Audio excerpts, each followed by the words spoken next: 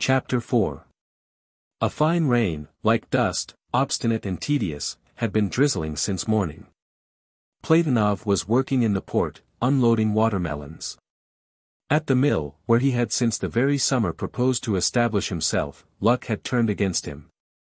After a week he had already quarreled, and almost had a fight, with the foreman, who was extremely brutal with the workers. About a month Sergei Ivanovich had struggled along somehow from hand to mouth, somewheres in the backyards of Temnikovskaya Street, dragging into the editorial rooms of the Echoes, from time to time. Notes of street accidents or little humorous scenes from the courtrooms of the justices of the peace.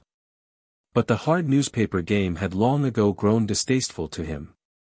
He was always drawn to adventures, to physical labor in the fresh air, to life completely devoid of even the least hint at comfort.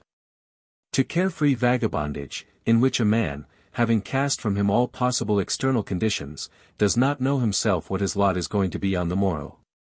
And for that reason, when from the lower stretches of the Dnieper the first barges with watermelons started coming in, he willingly entered a gang of laborers. In which he was known even from last year, and loved for his good nature, for his comradely spirit, and for his masterly ability of keeping count. This labor was carried on with good teamwork and with skill. Four parties, each of five men, worked on each barge. Number one would reach for a watermelon and pass it on to the second, who was standing on the side of the barge. The second cast it to the third, standing already on the wharf. The third threw it over to the fourth. While the fourth handed it up to the fifth, who stood on a horse cart and laid the watermelons away, now dark green, now white, now striped, into even glistening rows. This work is clean, lively, and progresses rapidly. When a good party is gotten up, it is a pleasure to see how the watermelons fly from hand to hand, are caught with a circus-like quickness and success, and anew, and anew, without a break, fly. In order to fill up the dray. It is only difficult for the novices, that have not as yet gained the skill, have not caught on to that especial sense of the tempo. And it is not as difficult to catch a watermelon as to be able to throw it. Platonov remembered well his first experiences of last year. What swearing, virulent, mocking, coarse, poured down upon him when for the third or fourth time he had been gaping and had slowed up the passing, two watermelons, not thrown in time. Had smashed against the pavement with a succulent crunch, while the completely lost Platonov dropped the one which he was holding in his hands as well. The first time they treated him gently, on the second day, however, for every mistake they began to deduct from him five kopecks per watermelon out of the common share. The following time when this happened, they threatened to throw him out of the party at once, without any reckoning. Platonov even now still remembered how a sudden fury seized him, ah, so. The devil take you, he had thought. And yet you want me to be cherry of your watermelons? So then, here you are, here you are, this flare-up helped him as though instantaneously. He carelessly caught the watermelons, just as carelessly threw them over. And to his amazement suddenly felt that precisely just now he had gotten into the real swing of the work with all his muscles, sight, and breathing. And understood, that the most important thing was not to think at all of the watermelons representing some value, and that then everything went well. When he, finally, had fully mastered this art, it served him for a long time as a pleasant and entertaining athletic game of its own kind. But that, too, passed away. He reached, in the end, the stage where he felt himself a will-less, mechanical wheel in a general machine consisting of five men and an endless chain of flying watermelons. Now he was number two. Bending downward rhythmically, he, without looking, received with both hands the cold, springy, heavy watermelon, swung it to the right. And, also almost without looking, or looking only out of the corner of his eye, tossed it downward, and immediately once again bent down for the next watermelon. And his ear seized at this time how smack smack, smack smack, the caught watermelons slapped against hands. And immediately bending downwards again, through, letting the air out noisily, gee, gee. The present work was very profitable. Their gang, consisting of forty men, had taken on the work, thanks to the great rush, not by the day but by the amount of work done, by the wagon load. Zavarotny, the head, an enormous, mighty Poltavian, had succeeded with extreme deftness in getting around the owner, a young man, and, to boot, in all probability not very experienced as yet. The owner, it is true, came to his senses later and wanted to change the stipulations, but experienced melon growers dissuaded him from it in time, drop it. They'll kill you, they told him simply and firmly. And so, through this very stroke of good luck every member of the gang was now earning up to four rubles a day. They all worked with unusual ardor, even with some sort of vehemence. And if it had been possible to measure with some apparatus the labor of each one of them, then, in all probability, the number of units of energy created would have equaled the work of a large Voronesian Percheron. However, Zavarotny was not satisfied even with this, he hurried and hurried his lads on all the time. Professional ambition was speaking within him.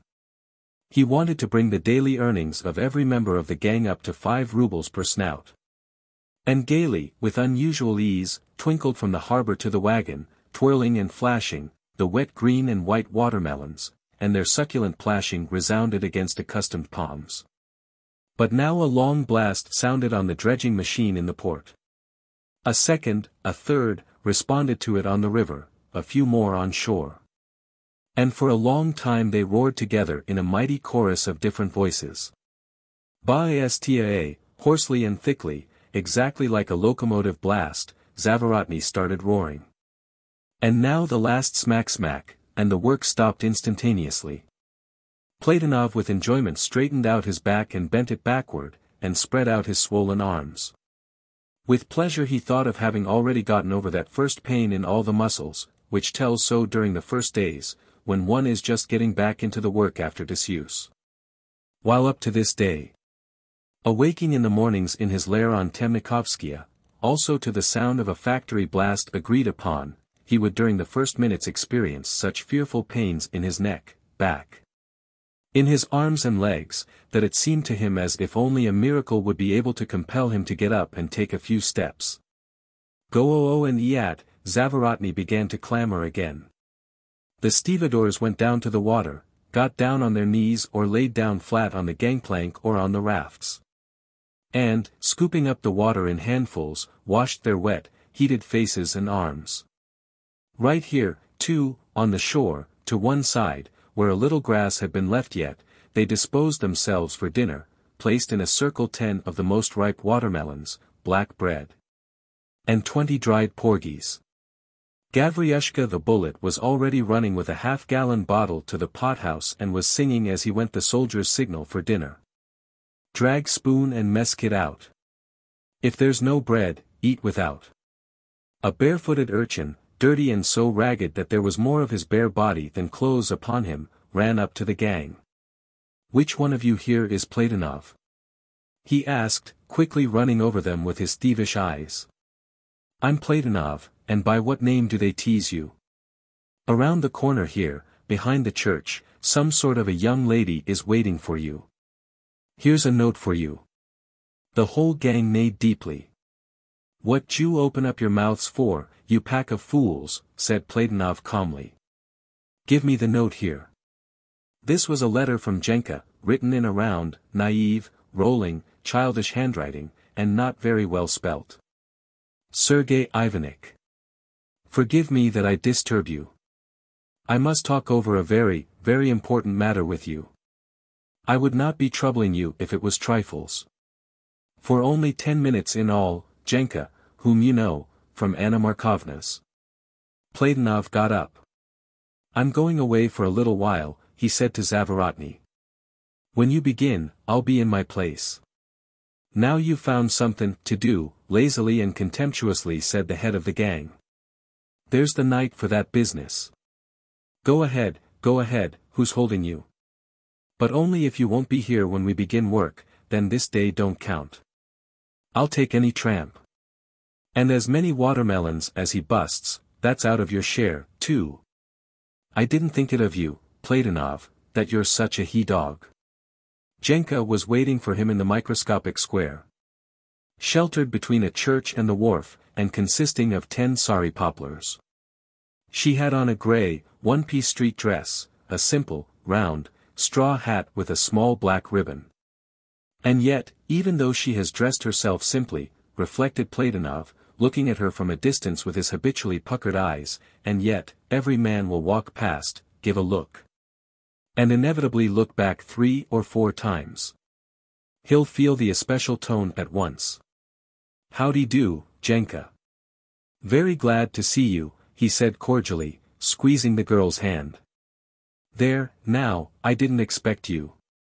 Jenka was reserved, sad, and apparently troubled over something. Platonov at once understood and sensed this. You excuse me, Janechka, I must have dinner right away, said he, so, perhaps, you'll go together with me and tell me what's the matter, while I'll manage to eat at the same time. There's a modest little inn not far from here. At this time there are no people there at all, and there's even a tiny little stall, a sort of a private room. That will be just the thing for you and me. Let's go. Perhaps you'll also have a bite of something. No. I won't eat, answered Jenka hoarsely, and I won't detain you for long, a few minutes. I have to talk things over, have some advice, but I haven't anybody. Very well. Let's go then. In whatever way I can, I'm always at your service, in everything. I love you very much, Jenka. She looked at him sadly and gratefully. I know this, Serge Ivanovich, that's why I've come. You need money, perhaps. Just say so. I haven't got much with me, myself. But the gang will trust me with an advance. No, thanks, it isn't that at all. I'll tell everything at once, there, where we're going now. In the dim, low-ceiled little inn, the customary haunt of petty thieves, who transacted their business and divvied up there, and where trade became brisk only in the evening. And went on until very far into the night, Platonov took up a little half-dark cubby hole. Give me boiled meat, cucumbers, a large glass of vodka, and bread, he ordered the waiter. The waiter, a young fellow with a dirty face, pug-nosed. As dirty and greasy in all his person as though he had just been pulled out of a cesspool, wiped his lips and asked hoarsely. How many kopecks bread? As much as it comes to. Then he started laughing. Bring as much as possible, we'll reckon it up later, and some bread cider. Well, Jenny, say what your trouble is. I can already see by your face that there's trouble, or something distasteful in general. Go ahead and tell it. Jenka for a long time plucked her handkerchief and looked at the tips of her slippers, as though, gathering her strength. Timorousness had taken possession of her, the necessary and important words would not come into her mind, for anything.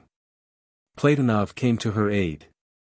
Don't be embarrassed, my dear Jenny, tell all there is. For you know that I'm like one of the family, and will never give you away. And perhaps I may really give you some worthwhile advice. Well, dive off with a splash into the water, begin. That's just it, I don't know how to begin, said Jenka irresolutely. Here's what, Sergey Ivanovich, I'm a sick woman. Understand, sick in a bad way. With the most nasty disease. Do you know which? Go on, said Platonov, nodding his head. And I've been that way for a long time, more than a month, a month and a half, maybe. Yes, more than a month. Because I found out about this on the Trinity. Platonov quickly rubbed his forehead with his hand. Wait a while, I've recalled it. This was that day I was there together with the students, isn't that so? That's right, Sergey Ivanovich, that's so. Ah, Jenka, said Platonov reproachfully and with regret. For do you know, that after this two of the students got sick? Wasn't it from you? Jenka wrathfully and disdainfully flashed her eyes. Perhaps even from me. How should I know? There were a lot of them. I remember there was this one, now, who was even trying to pick a fight with you all the time. A tall sort of fellow, fair-haired, in pince-nez. Yes. Yes. That's Sobashnikov. They passed the news to me. That's he, that one was nothing, a little coxcomb. But then the other, him I'm sorry for. Although I've known him long. Somehow I never made the right inquiries about his name. I only remember that he comes from some city or other, Polyansk. Zvenigorodsk. His comrades called him Ramses. When the physicians, he turned to several physicians, when they told him irrevocably that he had the lues. He went home and shot himself.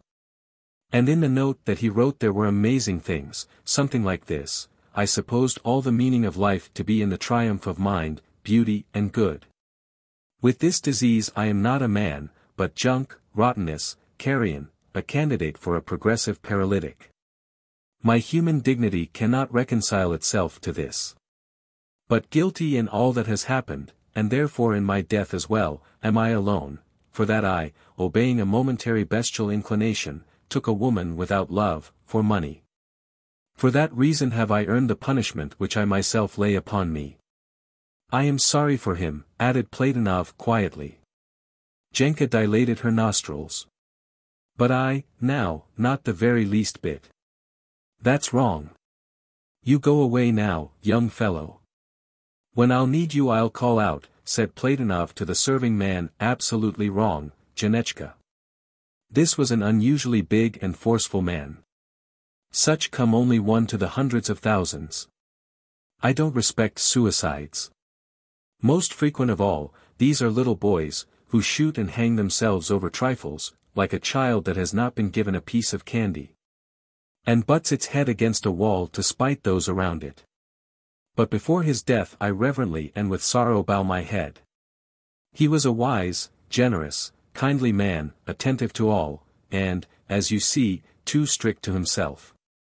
But to me this is absolutely all one, obstinately contradicted Jenka, wise or foolish, honest or dishonest, old or young, I have come to hate them all. Because, look upon me, what am I? Some sort of universal spittoon, cesspool, privy. Think of it, Platonov, why, thousands, thousands of people have taken me, clutched me, grunted, snorted over me.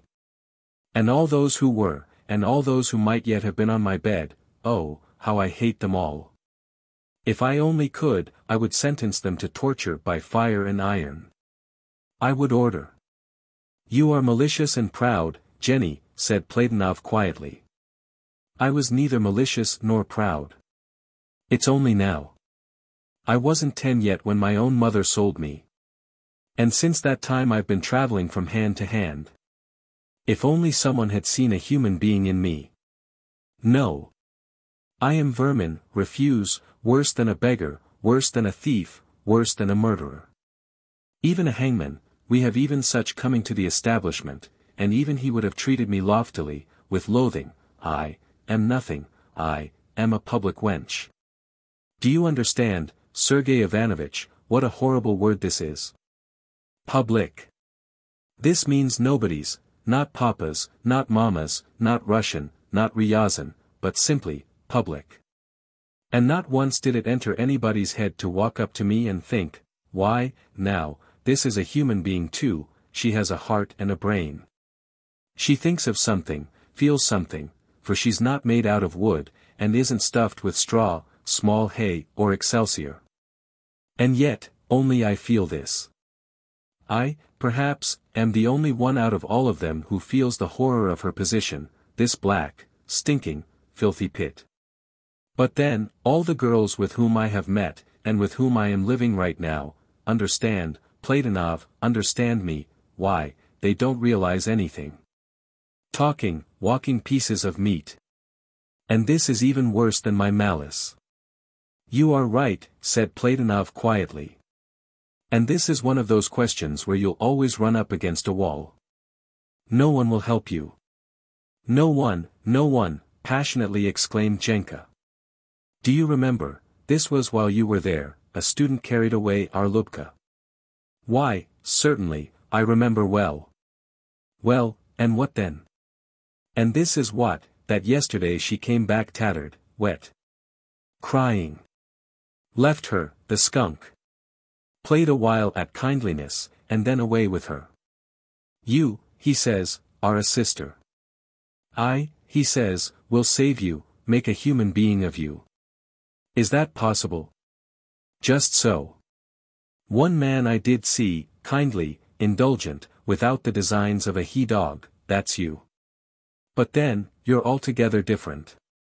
You're somehow queer. You're always wandering somewhere, seeking something. You forgive me, Sergey Ivanovich, you're some sort of a little innocent. And that's just why I've come to you, to you alone. Speak on, Janechka. And so, when I found out that I was sick, I almost went out of my mind from wrath. I choked from wrath. I thought, and here's the end, therefore, there's no more use in pitying, there's nothing to grieve about, nothing to expect. The lid. But for all that I have borne, can it be that there's no paying back for it? Can it be that there's no justice in the world? Can it be that I can't even feast myself with revenge? For that I have never known love, that of family life I know only by hearsay, that, like a disgusting, nasty little dog, they call me near, pat me and then boot me over the head, get out. That they made me over, from a human being, equal to all of them, no more foolish than all those I've met, made me over into a floor mop, some sort of a sewer pipe for their filthy pleasures. Ugh! Is it possible that for all of this I must take even such a disease with gratitude as well? Or am I a slave? A dumb object? A pack horse? And so, Platonov, it was just then that I resolved to infect them all, young, old, poor, rich, handsome, hideous, all, all, all. Platonov, who had already long since put his plate away from him, was looking at her with astonishment, and even more, almost with horror. He, who had seen in life much of the painful, the filthy, at times even of the bloody, he grew frightened with an animal fright before this intensity of enormous, unvented hatred. Coming to himself, he said. One great writer tells of such a case. The Prussians conquered the French and lorded it over them in every possible way, shot the men, violated the women, pillaged the houses. Burned down the fields. And so one handsome woman, a French woman, very handsome, having become infected, began out of spite to infect all the Germans who happened to fall into her embraces. She made ill whole hundreds, perhaps even thousands. And when she was dying in a hospital, she recalled this with joy and with pride, 32 but then, those were enemies. Trampling upon her fatherland and slaughtering her brothers. But you, you, Janechka. But I, all, just all.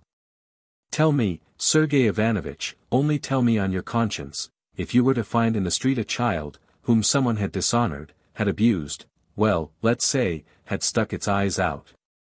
Cut its ears off, and then you were to find out that this man is at this minute walking past you, and that only God alone, if only he exists, is looking at you this minute from heaven, what would you do? Don't know, answered Platonov, dully and downcast. But he paled, and his fingers underneath the table convulsively clenched into fists, perhaps I would kill him. Not perhaps, but certainly. I know you, I sense you. Well, and now think, every one of us has been abused so, when we were children. Children, passionately moaned out Jenka and covered her eyes for a moment with her palm. Why, it comes to me, you also spoke of this at one time, in our place, wasn't it on that same evening before the Trinity? Yes, children, foolish, trusting, blind, greedy, frivolous. And we cannot tear ourselves out of our harness, where are we to go? What are we to do? And please, don't you think it, Sergey Ivanovich, that the spite within me is strong only against those who wrong just me, me personally. No, against all our guests in general. All these proud gallants, from little to big. Well, and so I have resolved to avenge myself and my sisters. Is that good or no? Janeka, really I don't know. I can't. I dare not say anything. I don't understand. But even that's not the main thing. For the main thing is this, I infected them, and did not feel anything, no pity, no remorse, no guilt before God or my fatherland. Within me was only joy, as in a hungry wolf that has managed to get at blood. But yesterday something happened which even I can't understand. A cadet came to me, altogether a little bit of a lad, silly. With yellow around his mouth. He used to come to me as far back as last winter. And then suddenly I took pity on him. Not because he was very handsome and very young. And not because he had always been very polite, even tender, if you will. No, both the one and the other had come to me, but I did not spare them, with enjoyment I marked them off. Just like cattle, with a red-hot brand. But this one I suddenly pitied. I myself don't understand, why. I can't make it out. It seemed to me, that it would be all the same as stealing money from a little simpleton, a little idiot. Or hitting a blind man, or cutting a sleeper's throat, if he only were some dried-up marasmus or a nasty little brute, or a lecherous old fellow, I would not have stopped. But he was healthy, robust, with chest and arms like a statue's, and I could not. I gave him his money back, showed him my disease, in a word, I acted like a fool among fools. He went away from me, burst into tears. And now since last evening I haven't slept. I walk around as in a fog. Therefore, I'm thinking right now, therefore, that which I meditated. My dream to infect them all, to infect their fathers, mothers, sisters, brides, even all the world, therefore, all this was folly, an empty fantasy, since I have stopped. Once again, I don't understand anything. Sergey Ivanovitch, you are so wise, you have seen so much of life, help me, then, to find myself now. I don't know, Janechka. Quietly pronounced Platonov. Not that I fear telling you, or advising you, but I know absolutely nothing. This is above my reason, above conscience. Jenny crossed her fingers and nervously cracked them. And I, too, don't know. Therefore, that which I thought, is not the truth. Therefore, there is but one thing left me. This thought came into my head this morning. Don't, don't do it, Janechka. Jenny, Platonov quickly interrupted her. There's one thing, to hang myself. No, no, Jenny, anything but that. If there were other circumstances, unsurmountable, I would, believe me, tell you boldly, well, it's no use, Jenny. It's time to close up shop. But what you need isn't that at all. If you wish, I can suggest one way out to you, no less malicious and merciless but which, perhaps, will satiate your wrath a hundredfold. What's that? asked Jenny, wearily, as though suddenly wilted after her flare-up.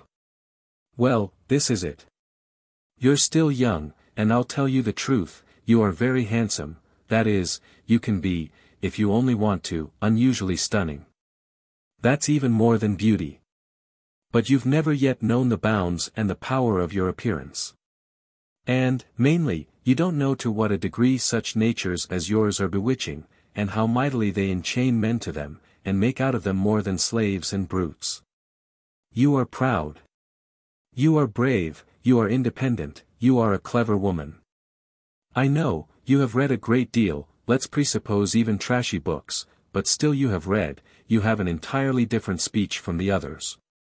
With a successful turn of life, you can cure yourself, you can get out of these yamkas, these little ditches, into freedom. You have only to stir a finger, in order to see at your feet hundreds of men. Submissive, ready for your sake for vileness, for theft, for embezzlement. Lord it over them with tight reins, with a cruel whip in your hands. Ruin them, make them go out of their minds, as long as your desire and energy hold out. Look, my dear Jenny, who manages life now if not women. Yesterday's chambermaid, laundress, chorus girl goes through estates worth millions, the way a countrywoman of Tver cracks sunflower seeds. A woman scarcely able to sign her name, at times affects the destiny of an entire kingdom through a man. Hereditary princes marry the streetwalkers, the kept mistresses of yesterday. Janechka, there is the scope for your unbridled vengeance while I will admire you from a distance. For you, you are made of this stuff, you are a bird of prey. A spoliator. Perhaps not with such a broad sweep, but you will cast them down under your feet. No, faintly smiled Jenka. I thought of this before. But something of the utmost importance has burned out within me. There are no forces within me, there is no will within me, no desires. I am somehow all empty inside, rotted. Well, now, you know, there's a mushroom like that, white, round, you squeeze it. And snuff pours out of it. And the same way with me. This life has eaten out everything within me save malice. And I am flabby, and my malice is flabby. I'll see some little boy again, will take pity on him, will be punishing myself again. No, it's better, better so. She became silent. And Platonov did not know what to say. It became oppressive and awkward for both. Finally, Jenka got up, and, without looking at Platonov, extended her cold, feeble hand to him. Goodbye, Sergei Ivanovitch. Excuse me, that I took up your time.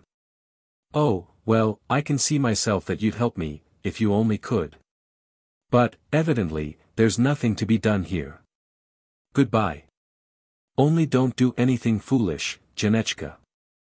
I implore you. Oh, that's all right, said she and made a tired gesture with her hand. Having come out of the square, they parted. But, Having gone a few steps, Jenka suddenly called after him. Sergey Ivanovitch, oh Sergey Ivanovitch. He stopped, turned around, walked back to her. Roly-poly croaked last evening in our drawing room. He jumped and he jumped, and then suddenly plumped down. Oh, well, it's an easy death at least. And also I forgot to ask you, Sergey Ivanovitch. This is the last, now. Is there a God or no? Platonov knit his eyebrows. What answer can I make? I don't know. I think that there is, but not such as we imagine him. He is more wise, more just. And future life? There, after death. Is there, now, as they tell us, a paradise or hell? Is that the truth? Or is there just nothing at all? A barren void? A sleep without a dream. A dark basement. Platonov kept silent, trying not to look at Jenka. He felt oppressed and frightened. I don't know, said he, finally, with an effort. I don't want to lie to you. Jenka sighed, and smiled with a pitiful, twisted smile. Well, thanks, my dear. And thanks for even that much. I wish you happiness. With all my soul. Well, goodbye. She turned away from him and began slowly, with a wavering walk, to climb up the hill. Platonov returned to work just in the nick of time. The gathering of tramps, scratching, yawning, working out their accustomed dislocations, were getting into their places. Zavarotny, at a distance, with his keen eyes caught sight of Platonov and began to yell over the whole port. You did manage to get here in time. You round-shouldered devil. But I was already wanting to take you by the tail and chase you out of the gang. Well, get in your place. Well, but I did get a great guy in you, Serejka, he added, in a kindly manner. If only it was night, but no, look you, he starts in playing Ring Around a Rosie in broad daylight. Chapter 5 Saturday was the customary day of the doctor's inspection, for which they prepared very carefully and with quaking in all the houses. As, however, even society ladies prepare themselves, when getting ready for a visit to a physician specialist. They diligently made their intimate toilet and inevitably put on clean underthings, even as dressy as possible. The windows toward the street were closed with shutters, while at one of those windows, which gave out upon the yard, was put a table with a hard bolster to put under the back. All the girls were agitated. And what if there's a disease I haven't noticed myself? That means being packed off into a hospital, disgrace, the tedium of hospital life, bad food. The hard course of treatment. Only Big Manka, or otherwise Manka the crocodile, Zoe, and Henrietta, all thirty years old, and, therefore, in the reckoning of Yama, already old prostitutes. Who had seen everything, had grown inured to everything, grown indifferent to their trade, like white, fat circus horses, remained imperturbably calm. Menka the crocodile even often said of herself. I have gone through fire and water and pipes of brass. Nothing will stick to me any more. Jenka, since morning, was meek and pensive. She presented to little white Menka a golden bracelet, a medallion upon a thin little chain with her photograph, and a silver neck crucifix. Tamara she moved through entreaty into taking two rings for remembrance, one of silver, in three hoops, that could be moved apart, with a heart in the middle, and a hand on each side of it. That clasped one another when all the three parts of the ring were compressed, while the second was of thin gold wire, set with an almandine. As for my underwear, Tamarachka, you give it to Anushka, the chambermaid. Let her wash it out well and wear it in good health, in memory of me. The two of them were sitting in Tamara's room.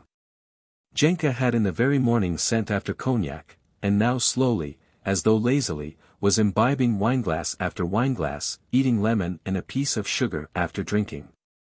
Tamara was observing this for the first time and wondered, because Jenka had always disliked wine, and drank very rarely, and then only at the constraint of guests. What are you giving stuff away so today? asked Tamara. Just as though you'd gotten ready to die, or to go into a convent. Yes, and I will go away, answered Jenka listlessly. I am weary, Tamarachka. Well, which one of us has a good time? Well, no. It isn't so much that I'm weary. But somehow everything, everything is all the same. I look at you, at the table, at the bottle, at my hands and feet. And I'm thinking, that all this is alike and everything is to no purpose. There's no sense in anything. Just like on some old, old picture. Look there, there's a soldier walking on the street, but it's all one to me, as though they had wound up a doll, and it's moving. And that he's wet under the ram. Is also all one to me. And that he'll die, and I'll die, and you, Tamara, will die, in this also I see nothing frightful. Nothing amazing. So simple and wearisome is everything to me. Jenka was silent for a while. Drank one more wineglass. Sucked the sugar, and, still looking out at the street, suddenly asked. Tell me, please, Tamara, I've never asked you about it, from where did you get in here, into this cat house? You don't at all resemble all of us, you know everything, for everything that turns up you have a good, clever word. Even French, now, how well you spoke at that time. But none of us knows anything at all about you. Who are you? Darling Janechka, really, it's not worthwhile. A life like any life. I went to boarding school, was a governess. Sang in a choir, then kept a shooting gallery in a summer garden. And then got mixed up with a certain charlatan and taught myself to shoot with a Winchester. I traveled with circuses, I represented an American Amazon. I used to shoot splendidly. Then I found myself in a monastery. There I passed two years. I've been through a lot. Can't recall everything. I used to steal. You've lived through a great deal. Checkered like. But then, my years are not a few. Well, what do you think, how many? Twenty-two, 24. No, my angel. It just struck 32 a week ago. I, if you like, am older than all of you here in Anna Markovna's. Only I didn't wonder at anything, didn't take anything near to heart. As you see, I never drink. I occupy myself very carefully with the care of my body. And the main thing, the very main thing, I don't allow myself ever to be carried away with men. Well, but what about your Senka? Senka, that's a horse of another color. The heart of woman is foolish, inconsistent. Can it possibly live without love? And even so, I don't love him, but just so, a self-deception. But, however, I shall be in very great need of Senka soon. Jenka suddenly grew animated and looked at her friend with curiosity. But how did you come to get stuck right here, in this hole? So clever, handsome, sociable. I'd have to take a long time in telling it. And then I'm too lazy. I got in here out of love. I got mixed up with a certain young man and tackled a revolution with him. For we always act so, we women, where the dearie is looking, there we also look. What the dearie sees, that we also see. I didn't believe its soul in his work, but I went. A flattering man he was. Smart, a good talker, a good looker. Only he proved to be a skunk and a traitor afterwards. He played at revolution, while he himself gave his comrades away to the gendarmes. A stool pigeon, he was. When they had killed and shown him up, then all the foolishness left me. However, it was necessary to conceal myself. I changed my passport. Then they advised me, that the easiest thing of all was to screen myself with a yellow ticket. And then the fun began. And even here I'm on a sort of pasture ground. When the time comes, the successful moment arrives, I'll go away. Where? asked Jenny with impatience. The world is big. And I love life. There, now, I was the same way in the convent, I lived on and I lived on, sang antiphonies and dullias, until I had rested up, and had finally grown weary of it, and then all at once, hop. And into a cabaret. Wasn't that some jump? The same way out of here. I'll get into a theater, into a circus, into a corps de ballet, but do you know, Janechka, I'm drawn to the thieving trade the most, after all. Daring, dangerous. Hard, and somehow intoxicating. It's drawing me, the game of it. Don't you mind that I'm so respectable and modest, and can appear an educated young lady. I'm entirely, entirely different. Her eyes suddenly blazed up, vividly and gaily. There's a devil dwells in me. It's all very well for you, pensively and with weariness pronounced Jenny. You at least desire something, but my soul is some sort of carrion. I'm 25 years old, now. But my soul is like that of an old woman, shriveled up, smelling of the earth. And if I had only lived sensibly. Ugh. There was only some sort of slush. Drop it, Jenka. You're talking foolishly. You're smart, you're original, you have that special power before which men crawl and creep so willingly. You go away from here, too, not with me, of course, I'm always single, but go away all by your own self. Jenka shook her head and quietly, without tears, hid her face in her palms. No, she responded dully, after a long silence, no, this won't work out with me, fate has chewed me all up.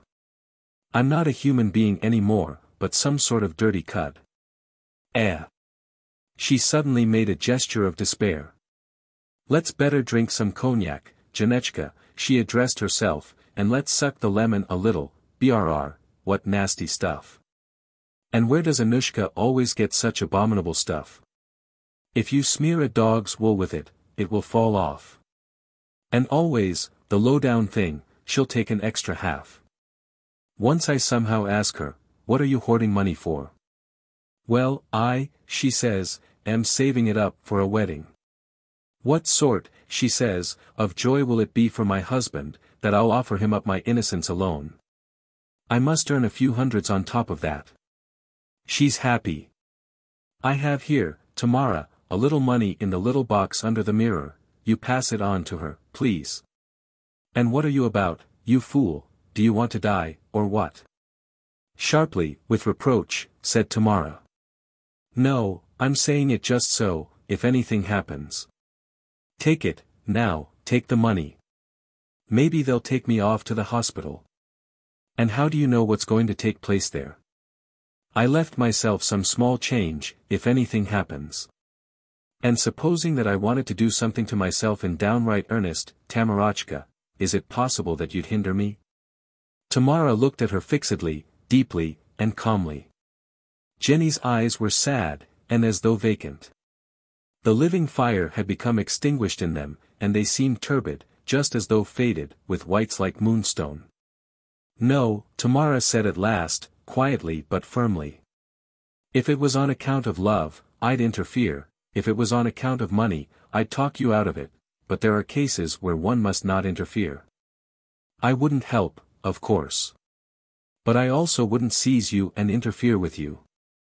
At this moment the quick-limbed housekeeper Zosia whirled through the corridor with an outcry.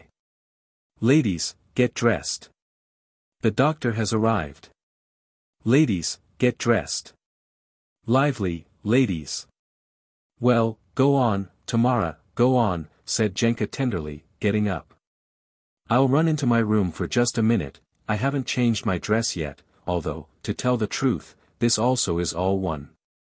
When they'll be calling out for me, and I don't come in time, call out, or run in after me. And, going out of Tamara's room, she embraced her by the shoulder, as though by chance, and stroked it tenderly. Dr. Klemenko, the official city doctor, was preparing in the parlor everything indispensable for an inspection, Vaseline, a solution of sublimate, a little mirror. And other things, and was placing them on a separate little table. Here also were arranged for him the white blanks of the girls, replacing their passports, as well as a general alphabetical list. The girls, dressed only in their chemises, stockings, and slippers, were standing and sitting at a distance. Nearer the table was standing the proprietress herself, Anna Markovna, while a little behind her were Emma Edwardovna and Zosia. The doctor, aged, disheartened, slovenly. A man indifferent to everything, put the pince-nez crookedly upon his nose, looked at the list, and called out. Alexandra Budzinskaya. The frowning, little, pug-nosed Nina stepped out. Preserving on her face an angry expression, and breathing heavily from shame, from the consciousness of her own awkwardness, and from the exertions, she clumsily climbed up on the table. The doctor, squinting through his pince-nez and dropping it every minute, carried out the inspection. Go ahead. You're sound. And on the reverse side of the blank he marked off, 28th of August. Sound, and put down a curlicue. And, before he had even finished writing, called out. Vashchenkova, Irene. Now it was the turn of Lubka. She, during the past month and a half of comparative freedom, had had time to grow unaccustomed to the inspections of every week. And when the doctor turned up the chemise over her breast, she suddenly turned as red as only very bashful women can, even with her back and breast. After her was the turn of Zoe. Then of little white Manka, after that of Tamara and Nyurka, the last, the doctor found, had gonorrhea, and ordered her to be sent off to a hospital. The doctor carried out the inspection with amazing rapidity. It was now nearly twenty years that every week, on Saturdays, he had to inspect in such a manner several hundred girls. And he had worked out that habitual technical dexterity and rapidity, a calm carelessness of movements, which is frequently to be found in circus artists, in card sharpers, in furniture movers and packers, and in other professionals. And he carried out his manipulations with the same calmness with which a drover or a veterinary inspects several hundred head of cattle in a day. Did he ever think that before him were living people, or that he appeared as the last and most important link of that fearful chain which is called legalized prostitution? No. And even if he did experience this, then it must have been in the very beginning of his career. Now before him were only naked abdomens, naked backs, and opened mouths. Not one exemplar of all this faceless herd of every Saturday would he have recognized subsequently on the street. The main thing was the necessity of finishing as soon as possible the inspection in one establishment, in order to pass on to another, to a third, a ninth, a twentieth. Susanna Ratsina. The doctor finally called out. No one walked up to the table. All the inmates of the house began to exchange glances and to whisper. Jenka. Where's Jenka? But she was not among the girls. Then Tamara, just released by the doctor, moved a little forward and said. She isn't here. She hasn't had a chance to get herself ready yet. Excuse me, mister. Doctor, I'll go right away and call her. She ran into the corridor and did not return for a long time. After her went, at first Emma Edwardovna, then Zosia, several girls, and even Anna Markovna herself. Pfui! What indecency is this? The majestic Emma Edwardovna was saying in the corridor, making an indignant face. And eternally this Jenka. Always this Jenka. It seems my patience has already burst. But Jenka was nowhere, neither in her room, nor in Tamara's. They looked into other chambers, in all the out-of-the-way corners. But she did not prove to be even there. We must look in the water closet. Perhaps she's there, surmised Zoe. But this institution was locked from the inside with a bolt. Emma Edwardovna knocked on the door with her fist. Jenny, do come out at last. What foolishness is this? And, raising her voice, she cried out impatiently and threateningly. Do you hear, you swine? Come out this minute, the doctor's waiting. But there was no answer of any sort. All exchanged glances with fear in their eyes, with one and the same thought in mind. Emma Edwardovna shook the door by the brass knob, but the door did not yield. Go after Simeon. Anna Markovna directed. Simeon was called. He came, sleepy and morose, as was his wont.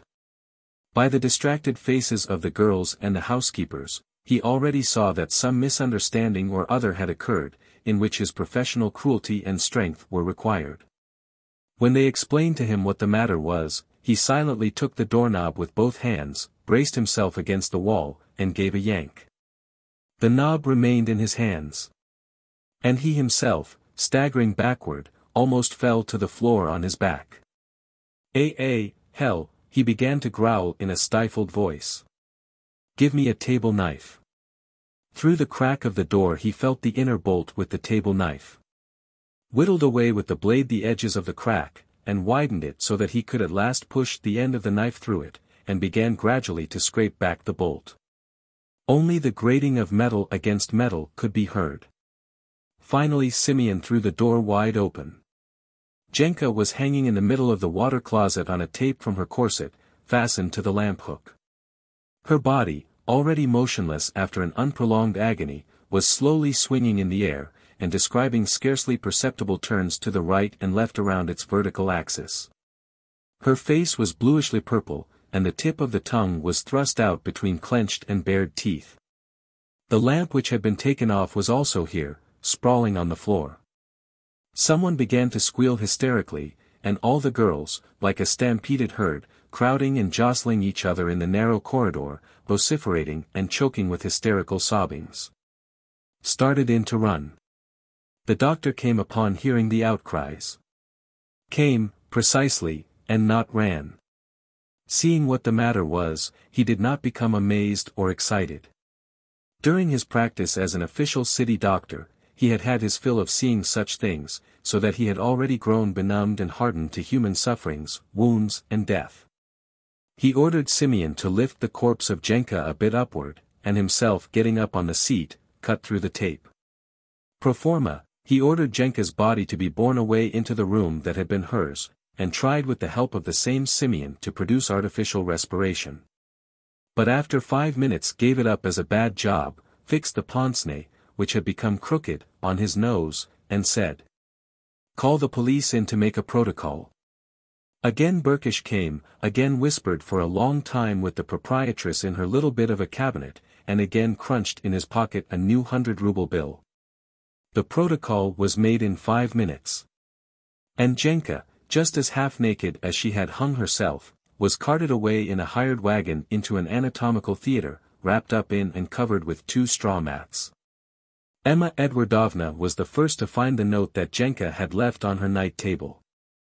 On a sheet, torn out of the income expense book, compulsory for every prostitute, in pencil, in a naive, rounded, childish handwriting, by which, however, it could be judged that the hands of the suicide had not trembled during the last minutes, was written. I beg that no one be blamed for my death. I am dying because I have become infected, and also because all people are scoundrels and it is very disgusting to live. How to divide my things, Tamara knows about that. I told her in detail. Emma Edwardovna turned around upon Tamara, who was right on the spot among a number of other girls, and with eyes filled with a cold, green hatred, hissed out. Then you knew, you low-down thing. What she was preparing to do. You knew, you vermin. You knew and didn't tell. She already had swung back, in order, as was her wont, to hit Tamara cruelly and calculatingly. But suddenly stopped just as she was, with gaping mouth and with eyes wide open. It was just as though she was seeing, for the first time, Tamara, who was looking at her with a firm, wrathful, unbearable gaze, and slowly, slowly was raising from below. And at last brought up to the level of the housekeeper's face, a small object, glistening with white metal. Chapter 6 That very same day, at evening, a very important event took place in the house of Anna Markovna, the whole institution, with land and house. With live and inanimate stock, passed into the hands of Emma Edwardovna. They had been speaking of this, on and off, for a long time in the establishment. But when the rumors so unexpectedly, immediately right after the death of Jenka, turned into realities, the misses could not for a long time come to themselves for amazement and fear. They knew well, having experienced the sway of the German upon themselves, her cruel, implacable pedantism. Her greed, arrogance, and, finally, her perverted, exacting, repulsive love, now for one, now for another favorite. Besides that, it was no mystery to anyone, that out of the fifteen thousand which Emma Edwardovna had to pay the former proprietress for the firm and for the property, one-third belonged to Burkish. Who had, for a long time already, been carrying on half-friendly, half-business relations with the fat housekeeper. From the union of two such people, shameless, pitiless, and covetous, the girls could expect all sorts of disasters for themselves.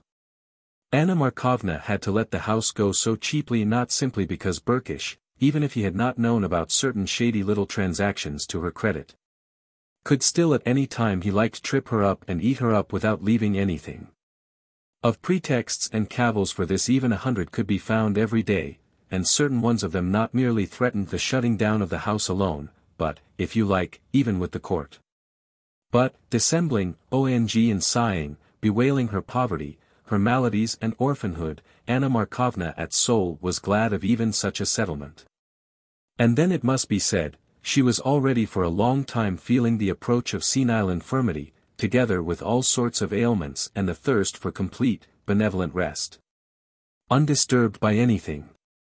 All, of which she had not even dared dream in her early youth, when she herself had yet been a prostitute of the rank and file, all had now come to her of itself, one in addition to the other. Peaceful old age, a house, like a cup brimming over, on one of the snug, quiet streets, almost in the center of the city, 120,000 rubles in the International Bank. The adored daughter Bertie, who, if not today then tomorrow, was to marry a respected man, an engineer, a house owner, and member of the city council provided for as she was with a respectable dowry and magnificent valuables. Now it was possible peacefully, without hurrying, with gusto, to dine and sup on sweet things. For which Anna Markovna had always nourished a great weakness. To drink after dinner good, homemade, strong cherry brandy.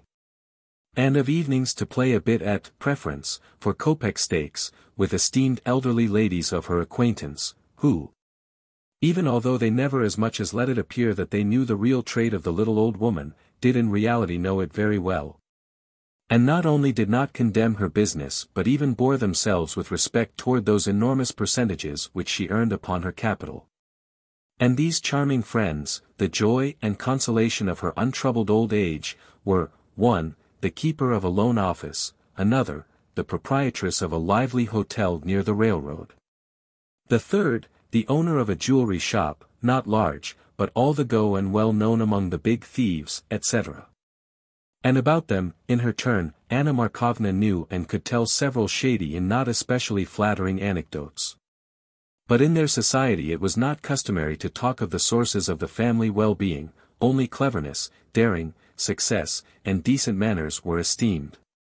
But, even besides that, Anna Markovna, sufficiently limited in mind and not especially developed, had some sort of an amazing inner intuition. which during all her life permitted her instinctively but irreproachably to avoid unpleasantnesses, and to find prudent paths in time. And so now, after the sudden death of Roly Poly, and the suicide of Jenka which followed the next day, she, with her unconsciously penetrating soul foreguessed that fate, which had been favoring her house of ill fame, sending her good fortunes. Steering her clear of all underwater shoals, was now getting ready to turn its back upon her. And she was the first to retreat. They say, that not long before a fire in a house, or before the wreck of a ship, the wise, nervous rats in droves make their way into another place. And Anna Markovna was directed by the same rat-like, animal, prophetic intuition. And she was right, immediately right after the death of Jenka some fearful curse seemed to hang over the house, formerly Anna Markovna Shabe's, but now Emma Edwardovna Titsner's, deaths. Misfortunes, scandals just simply descended upon it ceaselessly, becoming constantly more frequent, on the manner of bloody events in Shakespeare's tragedies. As, however, was the case at all the remaining houses of the Yamas as well. One of the first to die, a week after the liquidation of the business, was Anna Markovna herself. However, this frequently happens with people put out of their accustomed rut of 30 years, so die war heroes, who have gone into retirement, people of insuperable health and iron will. So quickly go off the stage ex-stockbrokers, who have happily gone into retirement and rest, but have been deprived of the burning allurement of risk and hazard. So too, age rapidly, droop, and grow decrepit, the great artists who leave the stage. Her death was the death of the just. While at a game of cards she felt herself unwell. Begged them to wait a while for her, saying that she would lie down for just a minute, lay down in the bedroom on a bed. Sighed deeply, and passed on into another world, with a calm face, with a peaceful, senile smile upon her lips. Isai Savvich, her faithful comrade on the path of life, a trifle downtrodden, who had always played a secondary, a subordinate role, survived her only a month. Bertie was left sole heiress. She very successfully turned the cozy house into money, as well as the land somewheres at the edge of the town, married, as it had been presupposed, very happily. And up to this time is convinced that her father carried on a great commercial business in the export of wheat through Odessa and Novorossiysk into Asia Minor.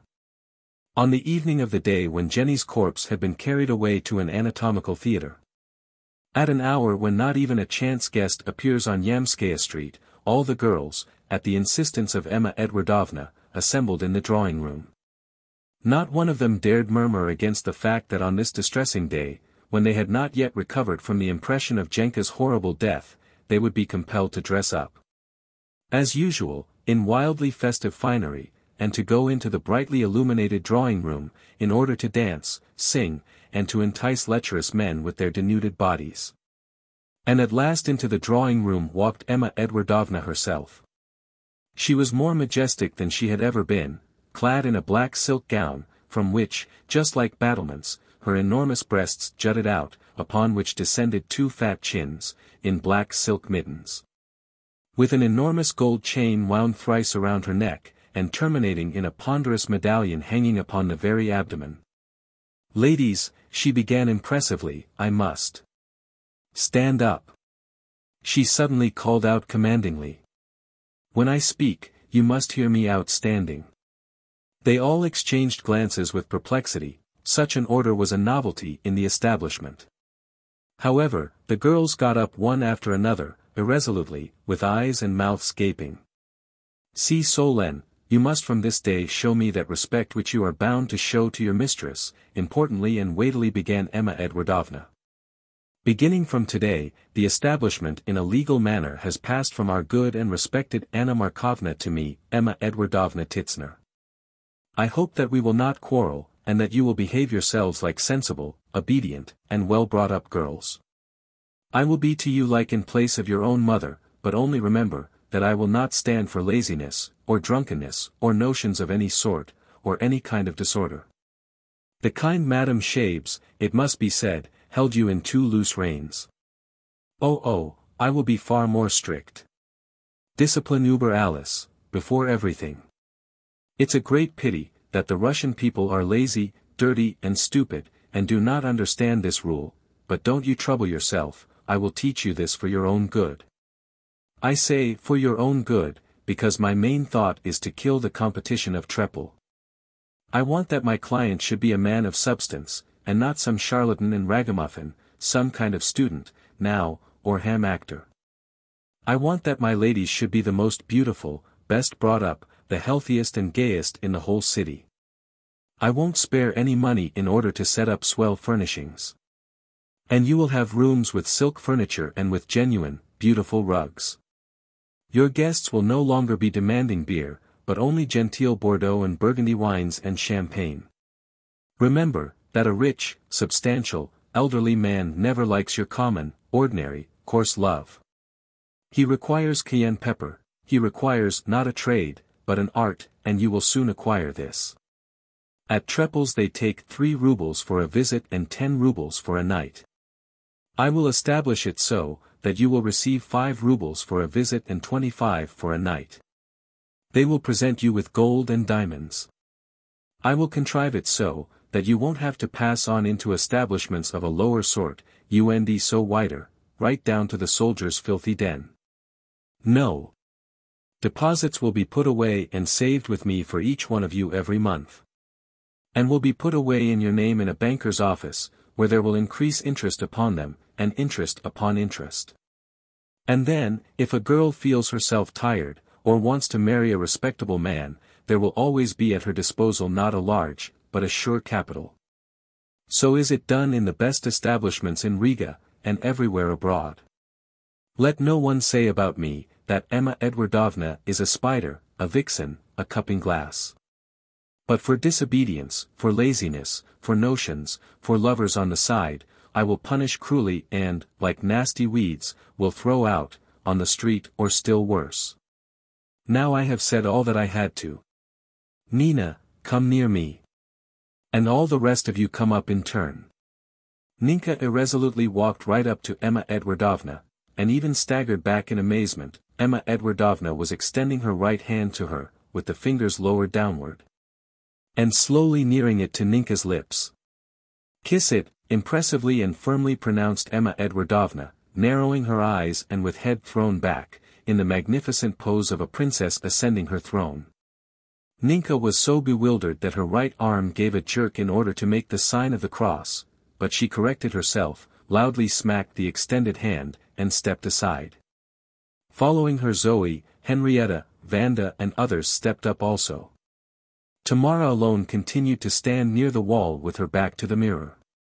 That mirror into which Jenka so loved to gaze, in gone-by times, admiring herself as she walked back and forth through the drawing-room. Emma Edwardovna let the imperious, obstinate gaze of a boa constrictor rest upon her, but the hypnosis did not work. Tamara bore this gaze without turning away, without flinching. But without any expression on her face. Then the new proprietress put down her hand, produced on her face something resembling a smile, and said hoarsely. And with you, Tamara, I must have a little talk separately, eye to eye. Let's go. I hear you, Emma Edwardovna, calmly answered Tamara. Emma Edwardovna came to the little bit of a cabinet, where formerly Anna Markovna loved to drink coffee with clotted cream. Sat down on the divan and pointed out a place opposite her to Tamara. For some time the women kept silent, searchingly, mistrustfully eyeing each other. You acted rightly, Tamara, said Emma Edwardovna finally. You did wisely in not stepping up, on the manner of those sheep, to kiss my hand. But just the same, I would not have let you come to that. I wanted right there, in the presence of all, when you walked up to me, to press your hand and to offer you the place of first housekeeper, you understand? My chief assistant, and on terms very advantageous to you. I thank you. No, wait a while, don't interrupt me. I will have my say to the end, and then you will express your pros and cons. But will you explain to me, please, when yesterday you were aiming at me out of a revolver, what did you want? Can it possibly be, to kill me?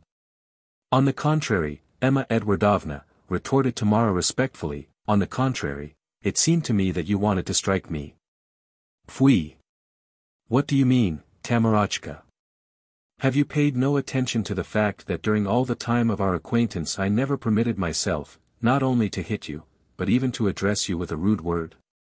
What do you mean, what do you mean? I don't confuse you with this poor Russian trash. Glory be to God, I am an experienced person and one who knows people well. I can very well see that you are a genuinely cultured young lady, far more educated, for example, than I myself. You are refined, elegant, smart. I am convinced of the fact that you even know music not at all badly. Finally, if I were to confess, I was a little, how shall I put it to you? I always was a little in love with you. And now you wanted to shoot me. Me, a person who could be a very good friend to you. Well, what will you say to that? Well, nothing at all, Emma Edwardovna, retorted Tamara in the meekest and most plausible tone. Everything was very simple. Even before that I found the revolver under Jenka's pillow and brought it, in order to give it over to you. I did not want to interfere, when you were reading the letter. But then you turned around to me, I stretched the revolver out to you and wanted to say, see, Emma Edwardovna, what I found, for, don't you see, it surprised me awfully how the late Jenny, having a revolver at her disposal, preferred such a horrible death as hanging. And that's all. The bushy, frightful eyebrows of Emma Edwardovna rose upward, the eyes widened joyously, and a real, uncounterfeited smile spread over her cheeks of a behemoth. She quickly extended both hands to Tamara. And is this all? Oh, main kind. And I thought. God knows what I imagined. Give me your hands, Tamara, your little charming white hands, and allow me to press them auf main hers, upon my heart, and to kiss you. The kiss was so long, that Tamara with great difficulty and with aversion barely freed herself from the embraces of Emma Edwardovna. Well, and now to business. And so, here are my terms, you will be housekeeper, I give you 15%, out of the clear gain. Mind you, Tamara, 15%.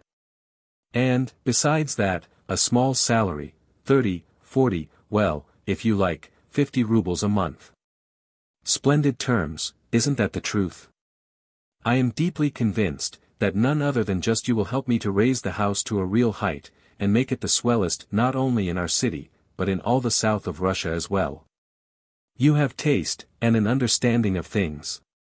Besides that, you will always be able to entertain, and to stir up the most exacting, the most unyielding guests.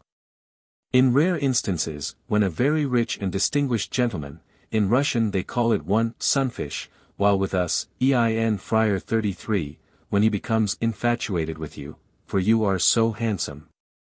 Tamarachka, the proprietress looked at her with misty, humid eyes, then I do not at all forbid you to pass the time with him gaily. Only to bear down always upon the fact that you have no right, owing to your duty, your position, UND so wider, UND so wider. Aber sagen Sie bit. Do you easily make yourself understood in German? Die deutsche Sprache beherrscht in Geringerem Grade als die Französisch, ins Kenich stets in einer Salonplauderei mitmachen 34. Oh, wunderbar. Sie haben ein entzückend rigueur Ausbreak, die best alter Deutschen Aussprachen.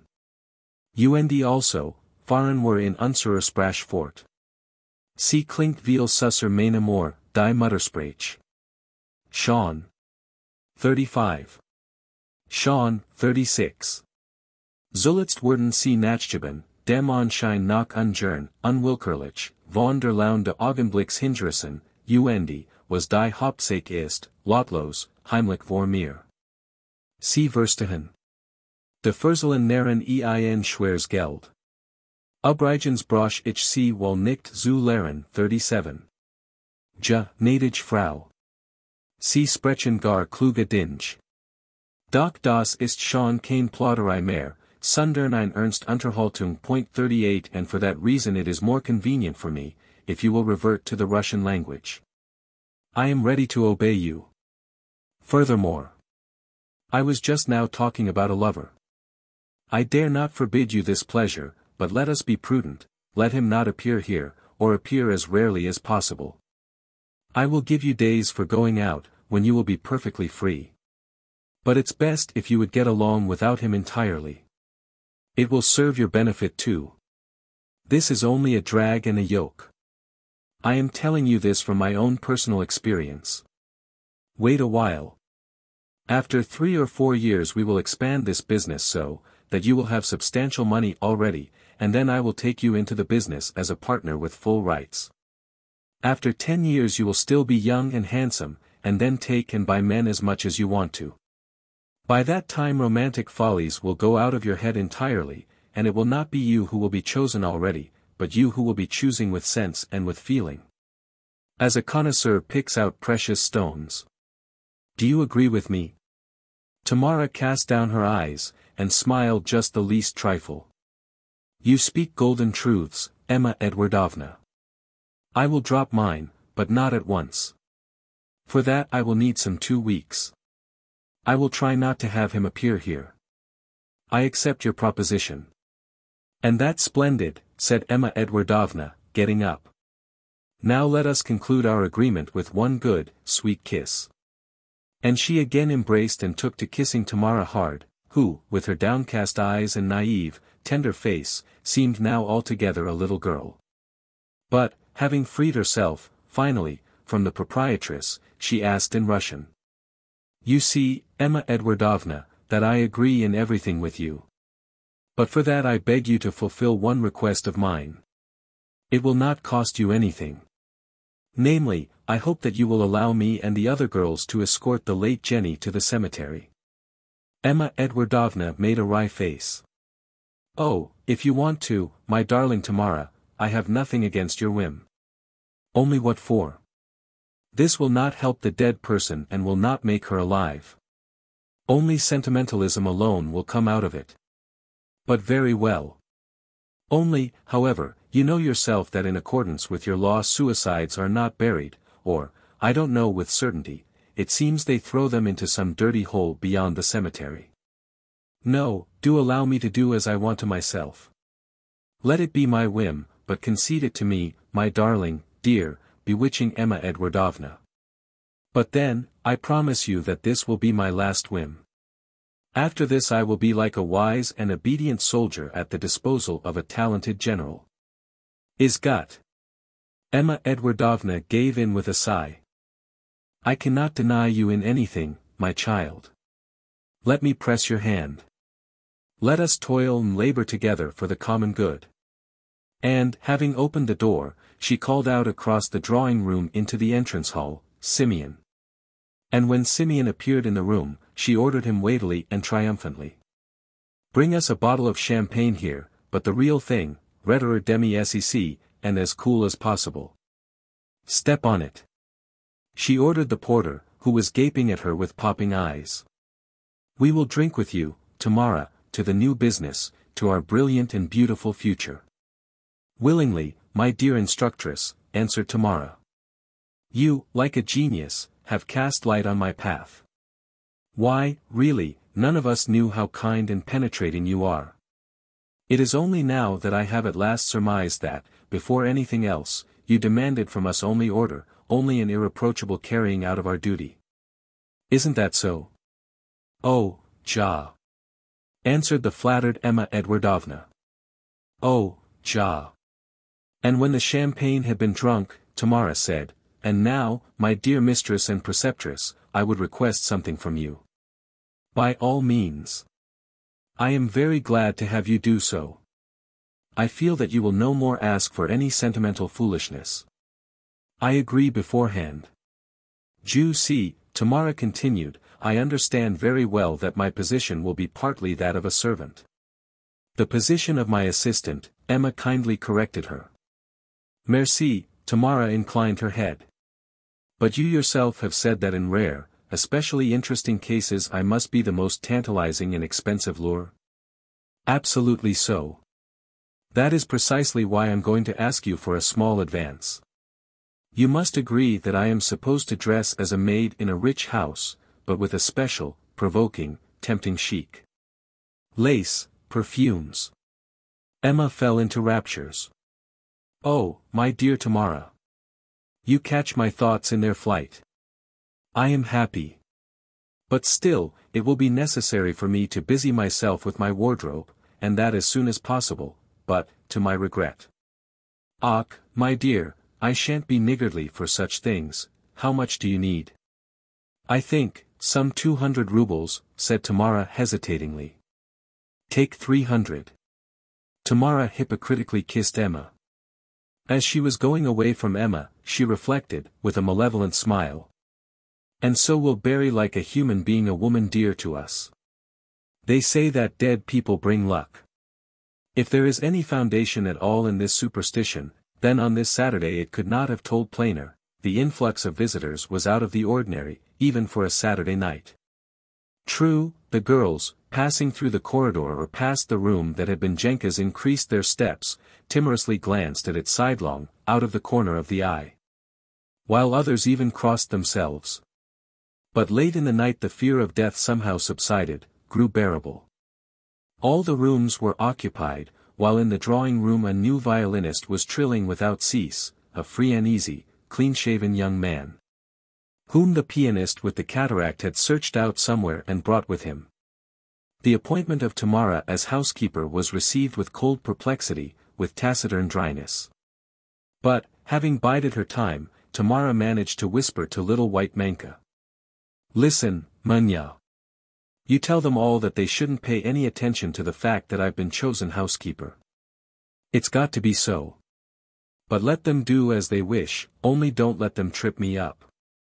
I am as before, their friend and intercessor. And further on we'll see. Chapter 7 On the next day, on Sunday, Tamara had a multitude of cares. She had become possessed by a firm and undeviating thought of burying her friend despite all circumstances, in the way that one's nearest and dearest are buried, in a Christian manner. With all the sad solemnity of the burial of secular persons. She belonged to the number of those strange persons who underneath an external indolent calmness, careless taciturnity, egotistical withdrawal into one's self, conceal within them unusual energy. Always as though slumbering with half an eye, guarding itself from unnecessary expenditure, but ready in one moment to become animated and to rush forward without reckoning the obstacles. At twelve o'clock she descended in a cab into the old town, rode through it into a little narrow street giving out upon a square where fairs were held. And stopped near a rather dirty tea-room, having ordered the cabby to wait. In the room she made inquiries of a boy, red-haired, with a badger haircut and the parting slicked down with butter, if Senka the depot had not come here. The serving lad, who, judging by his refined and gallant readiness, had already known Tamara for a long time, answered that, no-how, ma'am. They, Seaman Ignatic, had not been in yet, and probably would not be here soon seeing as how yesterday they had the pleasure of going on a spree at the Transvaal. And had played at billiards until six in the morning. And that now they, in all probabilities, are at home, in the halfway house rooms, and if the young lady will give the word, then it's possible to hop over to them this here minute. Tamara asked for paper and pencil, and wrote a few words right on the spot. Then she gave the note to the waiter, together with a half-ruble piece for a tip, and rode away. The following visit was to the artiste Rovinskaya, living, as Tamara had known even before, in the city's most aristocratic hotel, Europe, where she occupied several rooms in a consecutive suite. To obtain an interview with the singer was not very easy, the doorman below said that it looked as if Elena Viktorovna was not at home. While her own personal maid, who came out in answer to Tamara's knocking, declared that Madame had a headache, and that she was not receiving anyone. Again Tamara was compelled to write on a piece of paper. I come to you from her who once, in a house which is not spoken of loudly, cried, standing before you on her knees. After you had sung the ballad of Dargomyzhsky. Your kind treatment of her was so splendid. Do you remember? Do not fear, she has no need of anyone's help now, yesterday she died.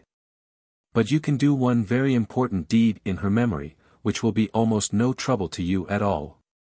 While I, am that very person who permitted herself to say a few bitter truths to the Baroness T, who was then with you, for which truths I am remorseful and apologize even now. Hand this over, she ordered the chambermaid. She returned after two minutes. The madam requests you. They apologize very much that they will receive you not fully dressed. She escorted Tamara, opened a door before her, and quietly shut it after she had gone in. The great artiste was lying upon an enormous ottoman, covered with a beautiful Tekin rug and a multitude of little silk pillows, and soft cylindrical bolsters of tapestry. Her feet were wrapped up in silvery, soft fur. Her fingers, as usual, were adorned by a multiplicity of rings with emeralds, attracting the eyes by their deep and tender green. The artiste was having one of her evil, black days today. Yesterday morning some misunderstandings with the management had arisen. While in the evening the public had received her not as triumphantly as she would have desired, or, perhaps, this had simply appeared so to her. While today in a newspaper a fool of a reviewer, who understood just as much of art as a cow does of astronomy, had praised up her rival, Titanova, in a big article. And so Elena Viktorovna had persuaded herself that her head was aching, that there was a nervous tick in her temples, and that her heart, time and again, seemed suddenly to fall through somewheres. How do you do, my dear, she said, a trifle nasally, in a weak, wan voice, with pauses, as heroines on the stage speak when dying from love and from consumption. Sit down here. I am glad to see you. Only don't be angry, I am almost dying from migraine, and from my miserable heart. Pardon my speaking with difficulty. I think I sang too much and tired my voice. Rovinskaya, of course, had recalled both the mad escapade of that evening, and the striking, unforgettable face of Tamara. But now, in a bad mood, in the wearisome, prosaic light of an autumn day, this adventure appeared to her as unnecessary bravado, something artificial, imagined, and poignantly shameful. But she was equally sincere on that strange, nightmarish evening when she, through the might of talent, had prostrated the proud Jenka at her feet, as well as now, when she recalled it with fatigue. Indolence, and artistic disdain. She, as well as many distinguished artists, was always playing a role. Was always not her own self, and always regarded her words, movements, actions, as though looking at herself from a distance with the eyes and feelings of the spectators. She languidly raised from the pillow her narrow, slender, beautiful hand, and applied it to her forehead. And the mysterious, deep emeralds stirred as though alive and began to flash with a warm, deep sparkle. I just read in your note that this poor, pardon me, her name has vanished out of my head. Jenny. Yes, yes, thank you. I recall it now. She died. But from what? She hanged herself, yesterday morning, during the doctor's inspection. The eyes of the artiste, so listless, seemingly faded, suddenly opened, and, as through a miracle, grew animated and became shining and green, just like her emeralds. And in them were reflected curiosity, fear and aversion. Oh, my God! Such a dear, so individualistically handsome, so fiery. Oh, the poor, Poor soul. And the reason for this was? You know, the disease. She told you. Yes, yes. I remember, I remember. But to hang oneself.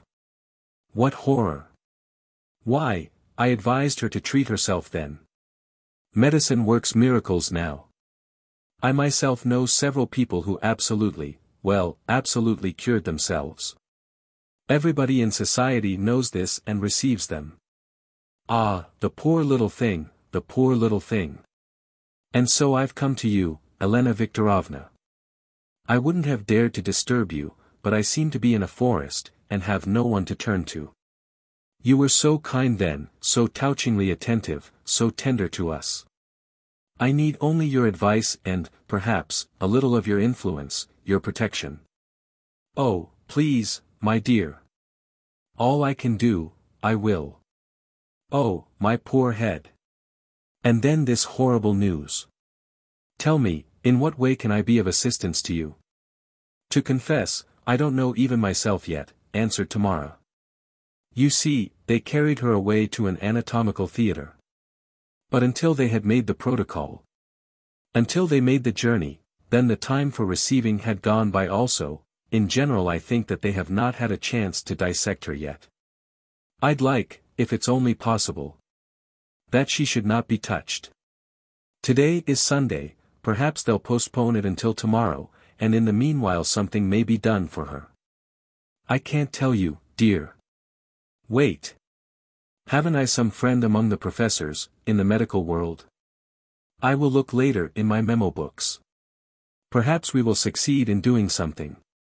Besides that, continued Tamara, I want to bury her. At my expense. I was attached to her with all my heart during her life. I will help you with pleasure in this, materially. No, no. A thousand thanks. I'll do everything myself. I would not hesitate to have recourse to your kind heart, but this, you will understand me, this is something in the nature of a vow. That a person gives to oneself and to the memory of a friend.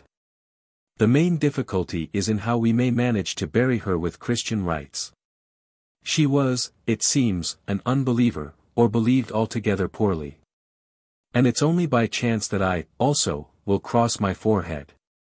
But I don't want them to bury her just like a dog, somewhere beyond the enclosure of the cemetery. In silence, without words, without singing.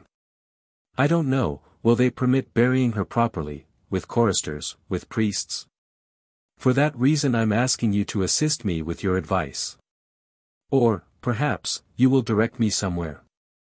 Now the artiste had little by little become interested and was already beginning to forget about her fatigue, and migraine, and the consumptive heroine dying in the fourth act. She was already picturing the role of an intercessor, the beautiful figure of genius merciful to a fallen woman. This was original, extravagant, and at the same time so theatrically touching. Rovinskaya, like many of her confreres, did not let one day pass by, and, if it were possible, she would not have let pass even one hour, without standing out from the crowd. Without compelling people to talk about her, today she would participate in a pseudo-patriotic manifestation, while tomorrow she would read from a platform. For the benefit of revolutionaries exiled to Siberia, inciting verses, full of fire and vengeance. She loved to sell flowers at carnivals, in riding academies, and to sell champagne at large balls. She would think up her little bon mots beforehand, which on the morrow would be caught up by the whole town. She desired that everywhere and always the crowd should look only at her, repeat her name, love her Egyptian, green eyes, her rapacious and sensuous mouth. Her emeralds on the slender and nervous hands. I can't grasp it all properly at once, said she after a silence. But if a person wants anything hard, he will attain it, and I want to fulfill your wish with all my soul. Stay, stay. I think a glorious thought is coming into my head. For then, on that evening, if I mistake not, there was with us. Beside the Baroness and me. I don't know them. One of them walked out of the cabinet later than all of you. He kissed Jenny's hand and said, that if she should ever need him, he was always at her service, and gave her his card, but asked her not to show it to any strangers. But later all this passed off somehow and was forgotten. In some way I never found the time to ask Jenny who this man was. While yesterday I searched for the card but couldn't find it. Allow me, allow me.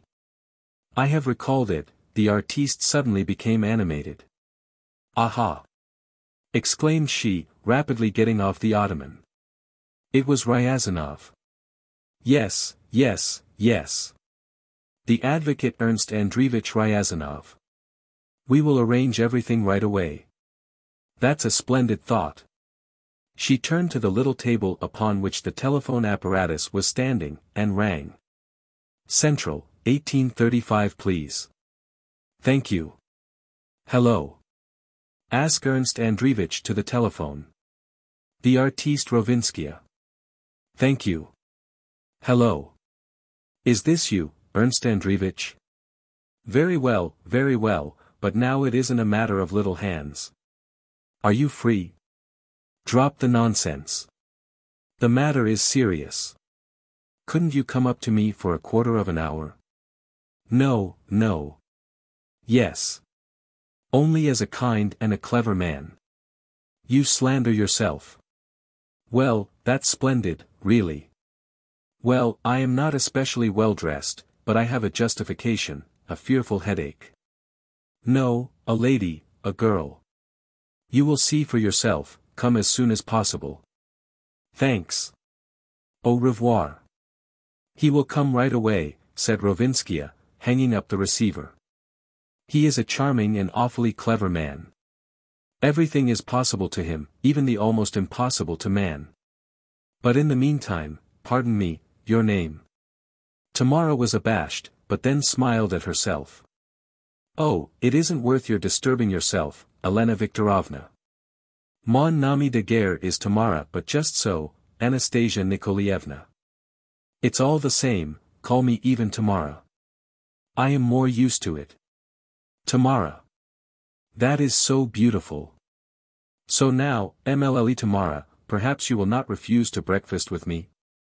Perhaps Ryazanov will also do so with us. I have no time, forgive me. That's a great pity. I hope, some other time. But, perhaps you smoke, and she moved toward her a gold case, adorned with an enormous letter E out of the same emerald she adored. Ryazanov came very soon. Tamara, who had not examined him properly on that evening, was struck by his appearance. Tall of stature, almost of an athletic build, with a broad brow, like Beethoven's, tangled with artistically negligent black, grizzled hair, with the large fleshy mouth of the passionate orator. With clear, expressive, clever, mocking eyes, he had such an appearance as catches one's eyes among thousands, the appearance of a vanquisher of souls and a conqueror of hearts. Deeply ambitious, not yet oversated with life. Still fiery in love and never retreating before a beautiful indiscretion.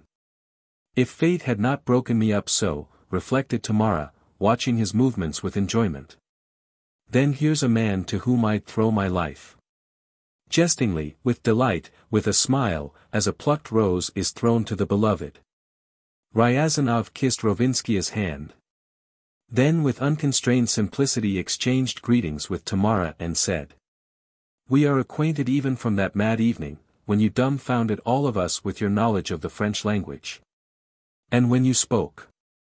That which you said was, between us, paradoxical, but then, how it was said.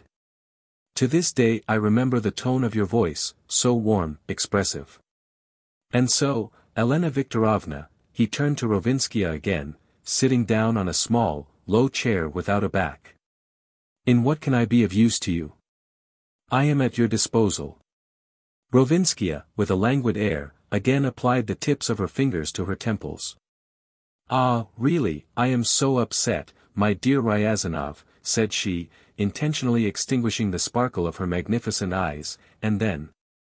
My miserable head. May I trouble you to pass me the pyramidon from that table. Let me. Tamara tell you everything. I cannot, I am not able to. This is so horrible. Tamara briefly, lucidly, narrated to Ryazanov all the sad history of Jenka's death. Recalled also about the card left with Jenny, and also how the deceased had reverently preserved this card, and, in passing, about his promise to help in case of need. Of course, of course. Exclaimed Ryazanov, when she had finished, and at once began pacing the room back and forth with big steps, ruffling and tossing back his picturesque hair through habit. You are performing a magnificent, sincere, comradely action. That is good. That is very good. I am yours. You say, a permit for the funeral. H.M. God grant me memory. He rubbed his forehead with his palm. H.M. H.M. If I'm not mistaken, Nomocanon, Rule 170, 170, 8. Pardon me, I think I remember it by heart. Pardon me. Yes, so. If a man slayeth himself, he shall not be chanted over, nor shall a mass be said for him, unless he were greatly astonied, that is, to wit, out of his mind. H.M. C.S.T. Timothy Alexandrin. And so, my dear miss, the first thing. You say, that she was taken down from the noose by your doctor, i.e., the official city doctor. His name? Klimenko. It seems I've met him somewheres. All right. Who is the district inspector in your precinct station? Kerbesh. Aha, I know. Such a strong, virile fellow, with a red beard in a fan. Yes. Yes, that is he. I know him very well. There, now, is somebody that a sentence to hard labor is hankering after. Some ten times he fell into my hands, and always, the skunk, gave me the slip somehow. Slippery, just like an eel pout. We will have to slip him a little present. Well, now. And then the anatomical theater. When do you want to bury her? Really, I don't know. I would like to do it as soon as possible, if possible, today. HM. Today. I don't vouch for it, we will hardly manage it. But here is my memorandum book. Well, take even this page, where are my friends under the letter T, just write the very same way, Tamara, and your address. In two hours I will give you an answer. Does that suit you? But I repeat again, that probably you will have to postpone the burial till tomorrow. Then, pardon my unceremoniousness, is money needed, perhaps? No, thank you, refuse Tamara. I have money. Thanks for your interest. It's time for me to be going. I thank you with all my heart, Ellen Viktorovna. Then expected in two hours, repeated Ryazanov, escorting her to the door. Tamara did not at once ride away to the house.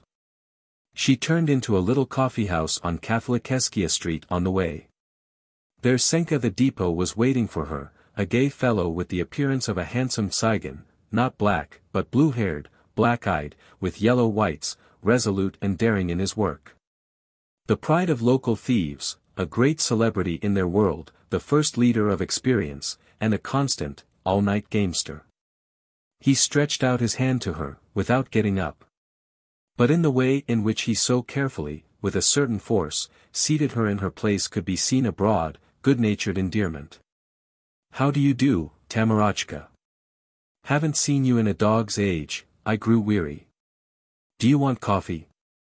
No. Business first. Tomorrow we bury Jenka. She hanged herself. Yes, I read it in a newspaper, carelessly drawled out Senka through his teeth. What's the odds? Get fifty rubles for me at once. Tamarachka, my sweetheart, I haven't a kopeck. I'm telling you, get them, ordered Tamara, imperiously, but without getting angry. Oh, my lord. Yours, now, I didn't touch, like I promised, but then, it's Sunday. The savings banks are closed. Let them. Hawk the savings book. In general, it's up to you. Why do you need this, my dearie? Isn't it all the same to you, you fool? For the funeral. Oh. Well, all right then, sighed Senka. Then I'd best bring it to you myself in the evening. Right, Tamarachka? It's so very hard for me to stand it without you. Oh, my dearie, how I'd kiss and kiss you. I wouldn't let you close your eyes. Shan't I come? No, no. You do as I ask you, Senechka. Give in to me. But you mustn't come, I'm housekeeper now. Well, what you know about that, drawled out the astonished Senka and even whistled. Yes. And don't you come to me in the meantime. But afterwards, afterwards, sweetheart, whatever you desire. There will be an end to everything soon. Oh, if you wouldn't make me suffer so. Wind things up as soon as you can. And I will wind em up. Wait one little week more, dearie. Did you get the powders? The powders are a trifle, discontentedly answered Senka. And it isn't powders at all, but pills. And you're sure when you say that they'll dissolve at once in water? Sure, I saw it myself. But he won't die. Listen, Senya, he won't die. Is that right? Nothing will happen to him. He'll only snooze for a while. Oh, Tamara, exclaimed he in a passionate whisper. And even suddenly stretched himself hard from an unbearable emotion, so that his joints cracked. Finish it, for God's sake, as soon as possible. Let's turn the trick and, bye-bye. Wherever you want to go to, sweetheart. I am all at your will, if you want to, we start off for Odessa, if you want to, abroad. Finish it up as soon as possible. Soon, soon. You just wink at me, and I'm all ready, with powders, with instruments, with passports. And then, choo-choo. The machine is off. Tamarachka. My angel.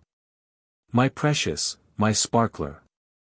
And he, always restrained, having forgotten that he could be seen by strangers, already wanted to embrace and hug Tamara to himself. Now, now. Rapidly and deftly, like a cat, Tamara jumped off the chair. Afterwards, afterwards, Sonechka, afterwards, little dearie. I'll be all yours, there won't be any denial, nor forbid dance. I'll myself make you weary of me, Goodbye, my little silly. And with a quick movement of her hand having rumpled up his black curls, she hastily went out of the coffee house. Chapter 8 On the next day, on Monday, toward ten o'clock in the morning, almost all the inmates of the house, formerly Madame Shaibes. But now Emma Edwardovna Titsners, rode off in cabs to the center of the city, to the anatomical theater, all, except the far-sighted, much experienced Henrietta the cowardly and insensible Ninka. And the feeble-minded Pashka, who for two days now had not gotten up from her bed, kept silent, and to questions directed at her answered by a beatific. Idiotical smile and with some sort of inarticulate animal lowing. If she were not given to eat, she would not even ask, but if food were brought, she would eat with greediness, right with her hands. She became so slovenly and forgetful, that it was necessary to remind her of certain necessary functions in order to avoid unpleasantness. Emma Edwardovna did not send out Pashka to her steady guests, who asked for Pashka every day. Even before, she had had such periods of a detriment of consciousness. However, they had not lasted long, and Emma Edwardovna in any case determined to tide it over, Pashka was a veritable treasure for the establishment, and its truly horrible victim. The anatomical theater represented a long, one-storied, dark gray building, with white frames around the windows and doors. There was in its very exterior something low, pressed down, receding into the ground, almost weird. The girls one after the other stopped near the gates and timidly passed through the yard into the chapel. Nestled down at the other end of the yard, in a corner, painted over in the same dark gray color, with white framework. The door was locked. It was necessary to go after the watchman. Tamara with difficulty sought out a bald, ancient old man, grown over as though with bog moss by entangled grey bristles. With little rheumy eyes and an enormous, reddish, livid granulous nose, on the manner of a cookie. He unlocked the enormous hanging lock, pushed away the bolt and opened the rusty, singing door. The cold, damp air together with the mixed smell of the dampness of stones, frankincense, and dead flesh breathed upon the girls. They fell back, huddling closely into a timorous flock. Tamara alone went after the watchman without wavering. It was almost dark in the chapel. The autumn light penetrated scantily through the little, narrow prison-like window, barred with an iron grating. Two or three images without chasubles, dark and without visages, hung upon the walls. Several common board coffins were standing right on the floor, upon wooden carrying shafts. One in the middle was empty, and the taken-off lid was lying alongside. What sort is yours, now? asked the watchman hoarsely, and took some snuff. Do you know her face or not? I know her. Well, then, look. I'll show them all to you. Maybe this one. And he took the lid off one of the coffins, not yet fastened down with nails.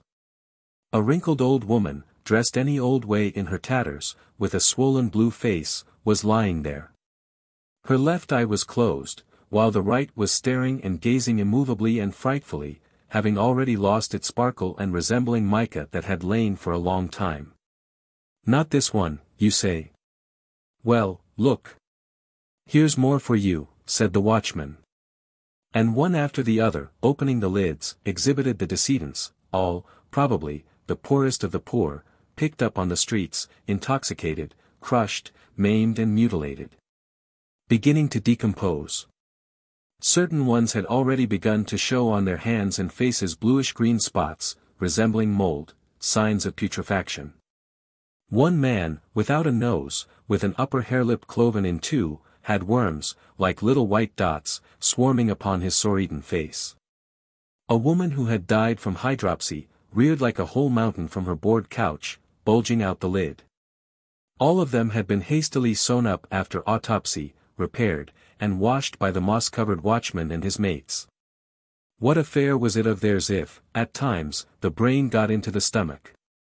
While the skull was stuffed with the liver and rudely joined with the help of sticking plaster to the head? The watchmen had grown used to everything during their nightmarish, unlikely, drunken life. And, by the by, almost never did their voiceless clients prove to have either relatives or acquaintances. A heavy odor of carrion, thick, cloying.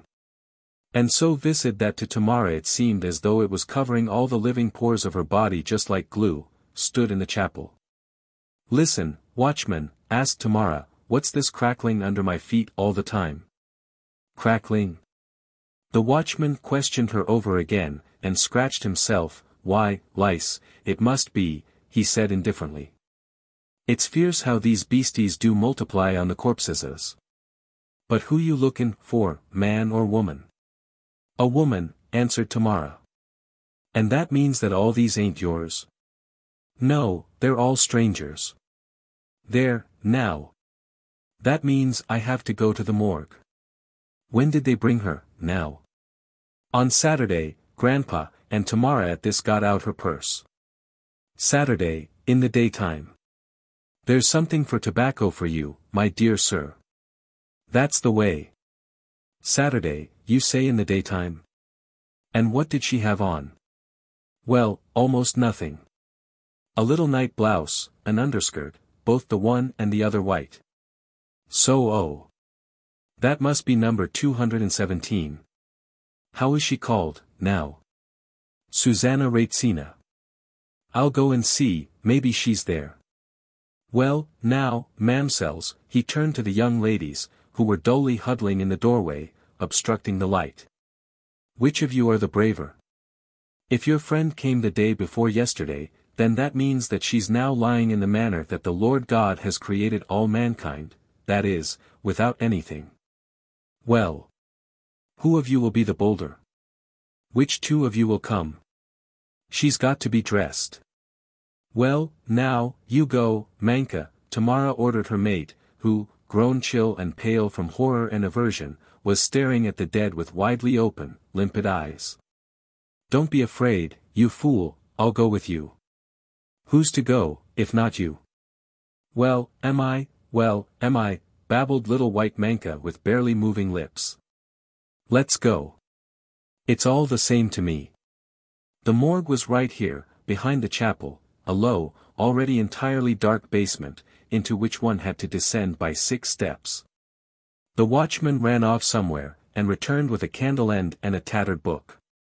When he had lit the candle, the girls saw a score of corpses that were lying directly on the stone floor in regular rows, extended, yellow, with faces distorted by premortal convulsions. With skulls split open, with clots of blood on their faces, with grinning teeth. Right away, right away, the watchman was saying, guiding his finger over the headings. The day before yesterday, that means, on Saturday, on Saturday. What did you say her name was, now? Raitzina, Susanna, answered Tamara.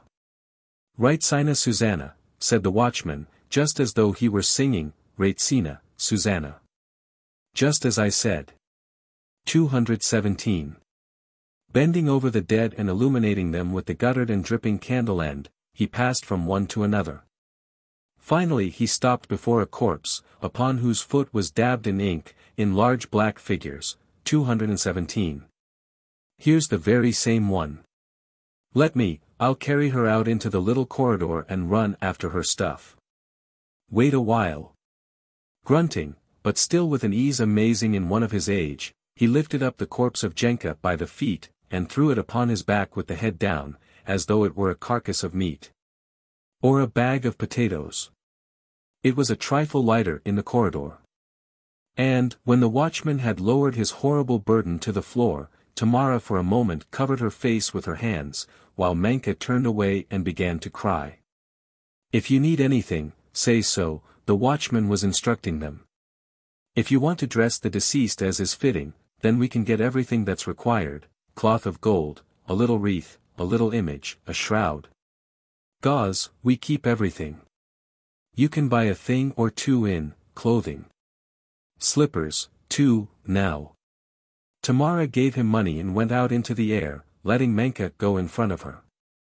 After some time two wreaths were brought, one from Tamara, of asters and georginas with an inscription in black letters upon a white ribbon, to Jenny from a friend. The other was from Ryazanov, all of red flowers, upon its red ribbon stood in gold characters, through suffering shall we be purified. He also sent a short little note, expressing commiseration and apologizing for not being able to come, as he was occupied with an undeferrable business meeting. Then came the singers who had been invited by Tamara, fifteen men from the very best choir in the city. The precentor, in a grey overcoat and a grey hat, all grey, somehow, as though covered with dust, but with long, straight mustaches, like a military person's, recognized Verka. Opened his eyes wide in astonishment, smiled slightly and winked at her. Two or three times a month, and sometimes even oftener, he visited Yamskaya Street with ecclesiastical academicians of his acquaintance, just the same precentors as he, and some psalmists. And having usually made a full review of all the establishments, always wound up with the house of Anna Markovna, where he invariably chose Verka. He was a merry and sprightly man. Danced in a lively manner, in a frenzy, and executed such figures during the dances that all those present just melted from laughter. Following the singers came the two-horsed catafalque, that Tamara had hired, black, with white plumes, and seven torchbearers along with it. They also brought a white, glazed brocade coffin. And a pedestal for it, stretched over with black calico. Without hurrying, with habitually deft movements, they put away the deceased into the coffin, covered her face with gauze. Curtained off the corpse with cloth of gold, and lit the candles, one at the head and two at the feet. Now, in the yellow, trembling light of the candles, the face of Jenka became more clearly visible. The lividness had almost gone off it, remaining only here and there on the temples, on the nose, and between the eyes, in party-colored, uneven, serpentine spots. Between the parted dark lips slightly glimmered the whiteness of the teeth, and the tip of the bitten tongue was still visible.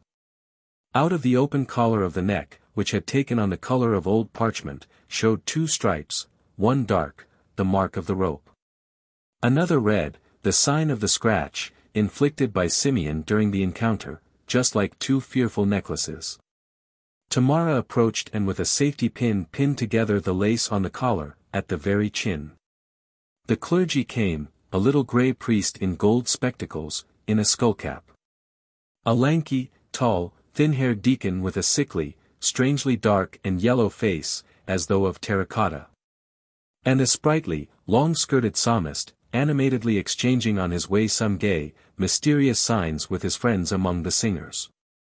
Tamara walked up to the priest. Father, she asked, how will you perform the funeral service, all together or each one separate? We perform the funeral service for all of them conjointly, answered the priest, kissing the stole, and extricating his beard and hair out of its slits. Usually, that is. But by special request, and by special agreement, it's also possible to do it separately. What death did the deceased undergo? She's a suicide, father. HM, a suicide.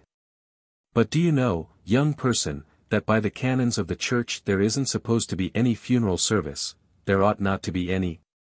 Of course, there are exceptions, by special intercession. Right here, Father. I have certificates from the police and from the doctor. She wasn't in her right mind, in a fit of insanity. Tamara extended to the priest two papers. Sent her the evening before by Ryazanov, and on top of them three banknotes of ten rubles each. I would beg of you, father, to do everything fitting, Christian-like. She was a splendid being, and suffered a very great deal. And won't you be so kind, go along with her to the cemetery, and there hold one more little mass. It's all right for me to go along with her to the cemetery. But in the cemetery itself I have no right to hold service, there is a clergy of their own. And also here's how, young person. In view of the fact that I'll have to return once more after the rest, won't you, now, add another little ten spot. For the cab. And having taken the money from Tamara's hand, the priest blessed the thurible, which had been brought up by the psalmist, and began to walk around the body of the deceased with purification. Then, having stopped at her head, he in a meek, wontedly sad voice, uttered. Blessed is our God. As it was in the beginning, is now, and ever shall be, world without end. The psalmist began pattering, Holy God, Most Holy Trinity, and Our Father, poured out like peas.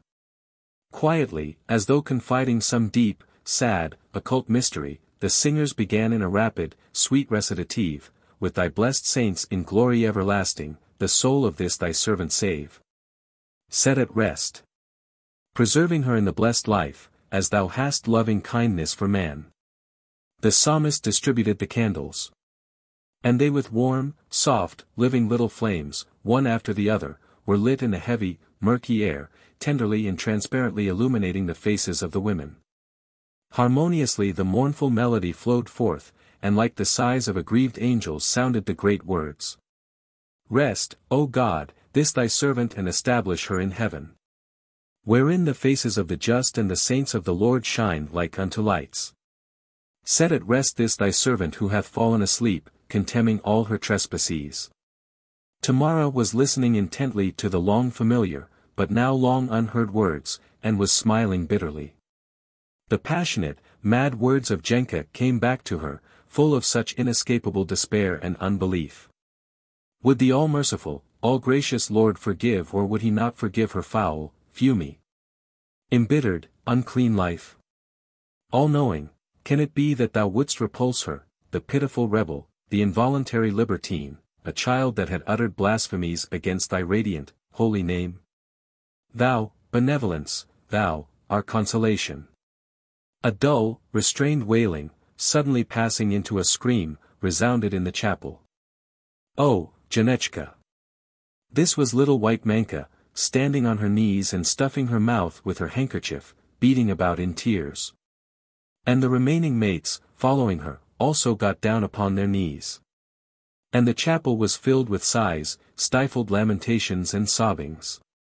Thou alone art deathless, who hast created and made man. Out of the dust of the earth were we made, and unto the same dust shall we return, as thou hast ordained me, creating me, and saying unto me, Dust thou art and unto dust shalt thou return.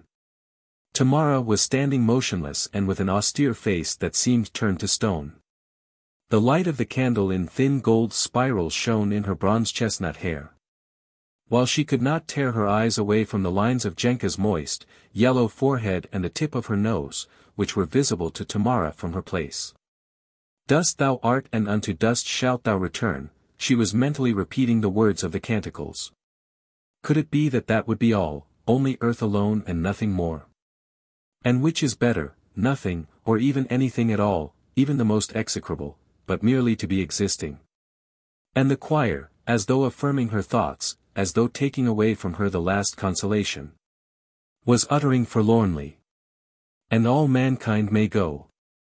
They sang, Eternal Memory, through, blew out the candles, and the little blue stream spread in the air, blue from frankincense. The priest read through the farewell prayer. And afterwards, in the general silence, scooped up some sand with the little shovel handed to him by the psalmist, and cast it crosswise upon the corpse, on top of the gauze. And at this he was uttering great words, filled with the austere, sad inevitability of a mysterious universal law, the world is the Lord's, and its fulfillment the universe. And all that dwelleth therein. The girls escorted their dead mate to the very cemetery. The road thither intersected the very entrance to Yamskaya Street. It would have been possible to turn to the left through it, and that would have been almost half as short, but dead people were not usually carried through Yamskaya.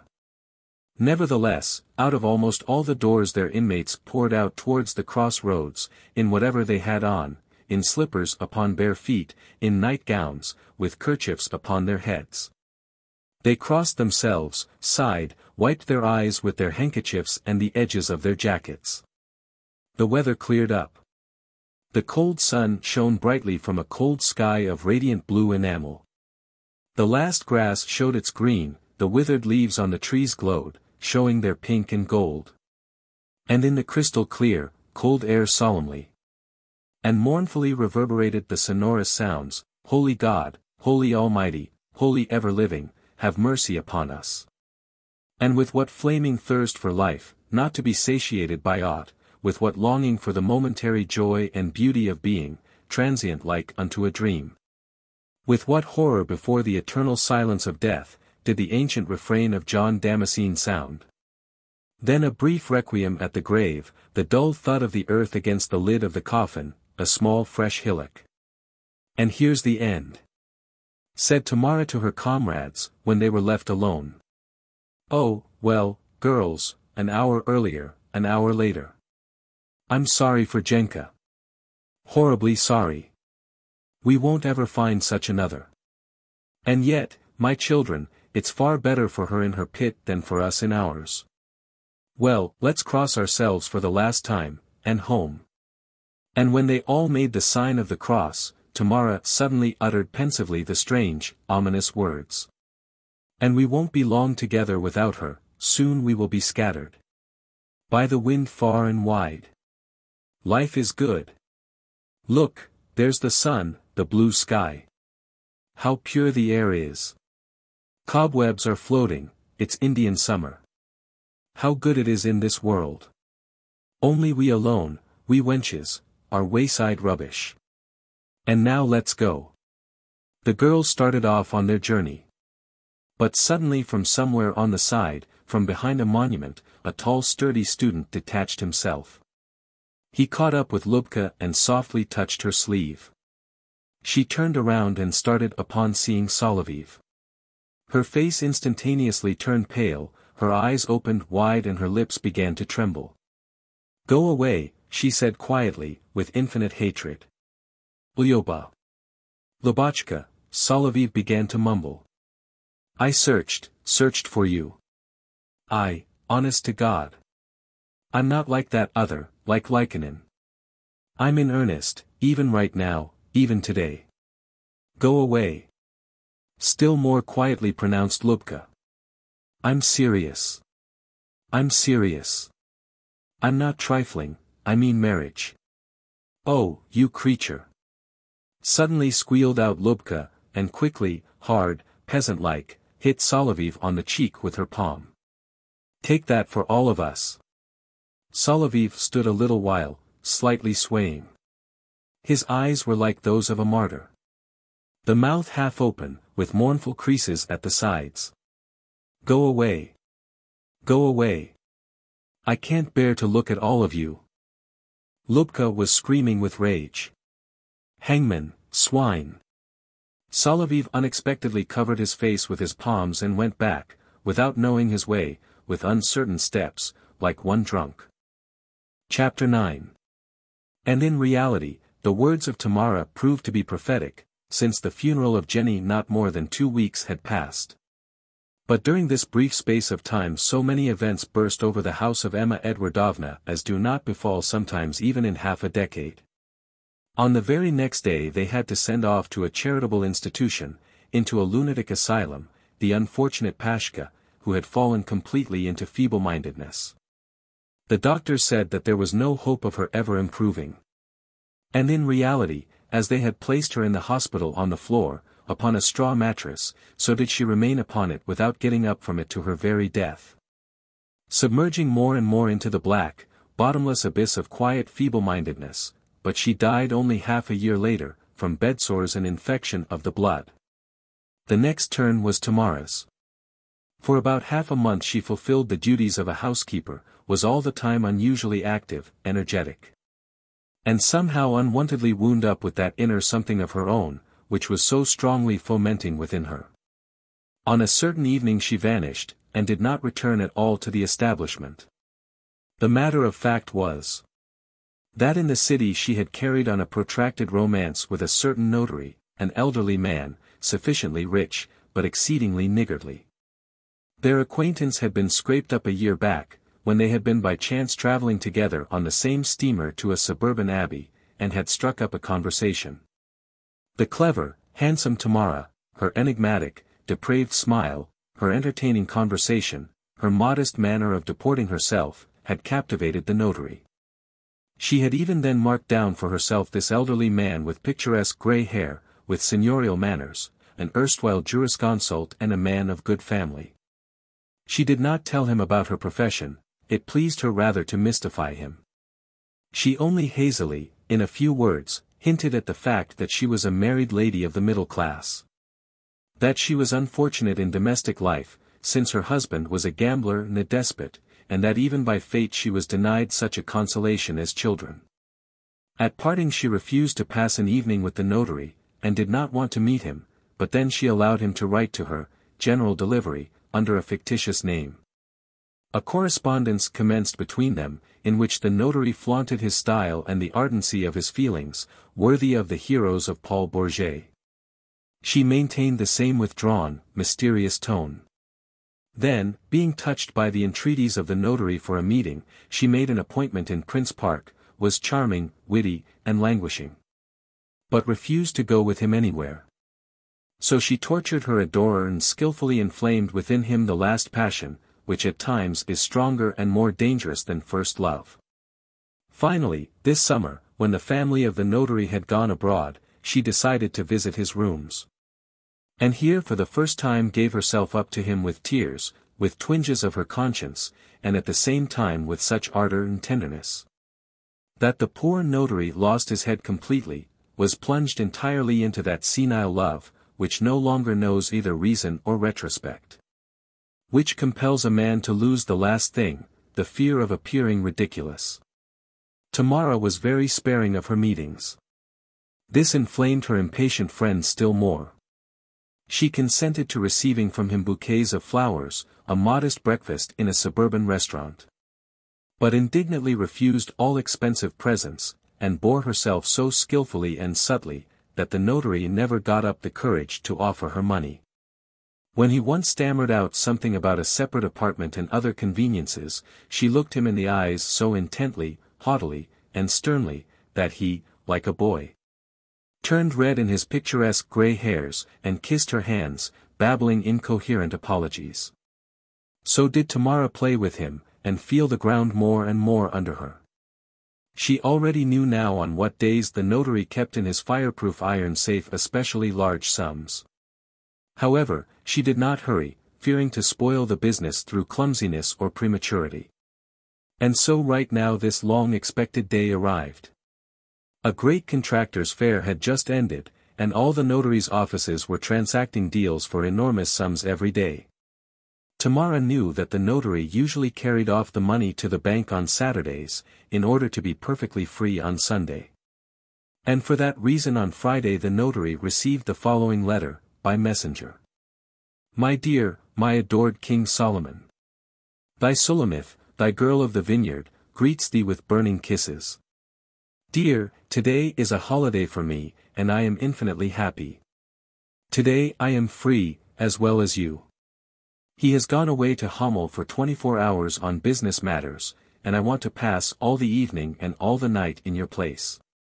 Ah, my beloved, all my life I am ready to pass on my knees before thee. I do not want to go anywhere. The suburban roadhouses and cabarets have bored me long ago. I want you, only you, you, you alone. Await me, then, in the evening, my joy, about ten, eleven, o'clock. Prepare a great quantity of cold white wine, game, and sugared chestnuts. I am burning, I am dying from desire.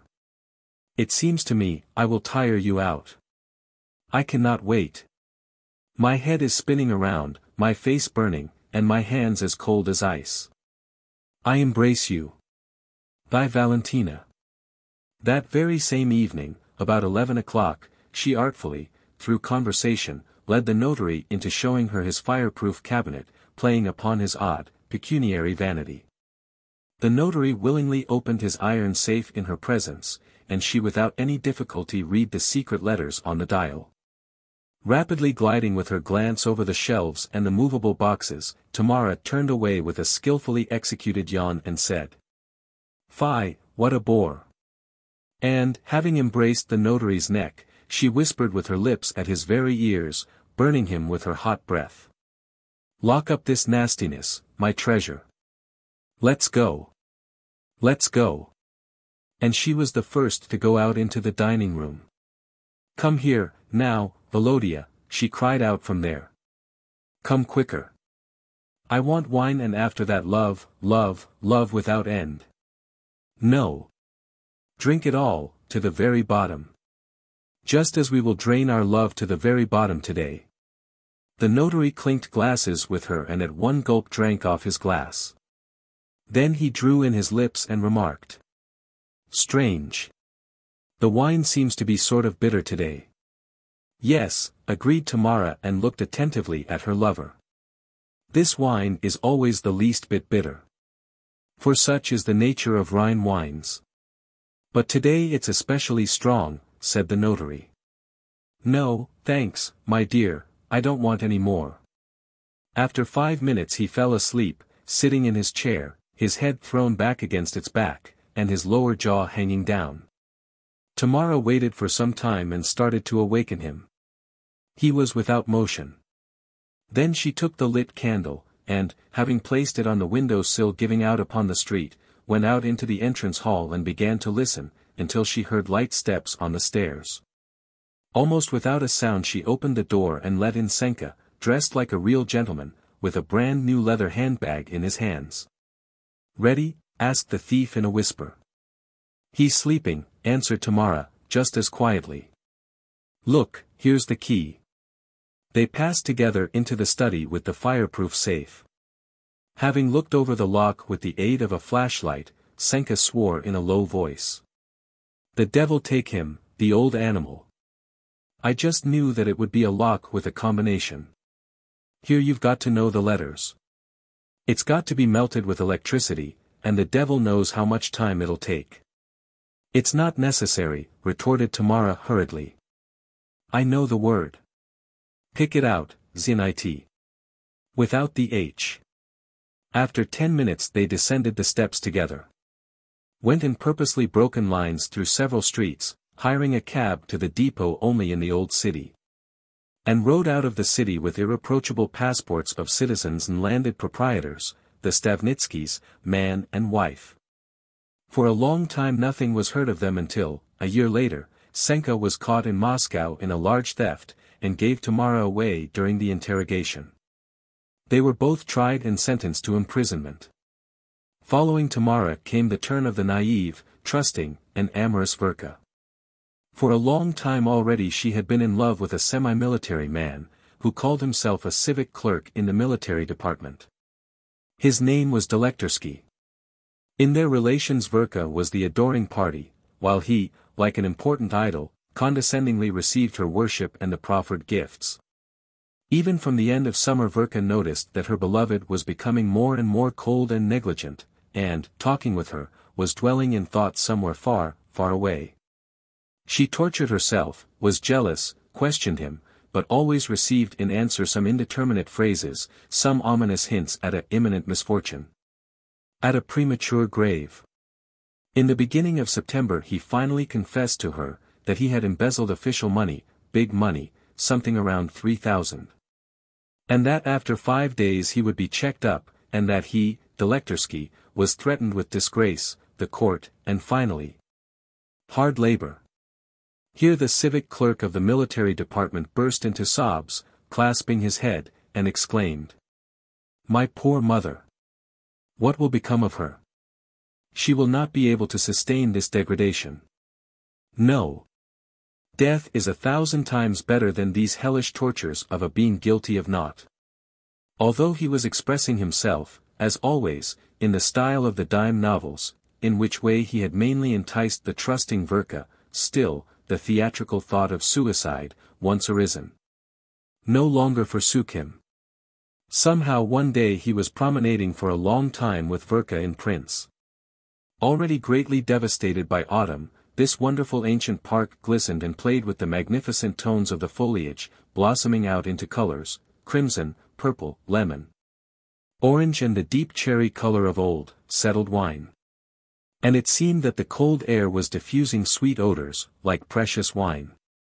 And yet, a fine impress, a tender aroma of death, was wafted from the bushes, from the grass, from the trees. Delektorsky waxed tender, gave his feelings a free rein, was moved over himself, and began to weep. Verka wept a bit with him, too. Today I will kill myself, said Delektorsky finally. All is over. My own, don't. My precious, don't. It's impossible, answered Delektorsky somberly.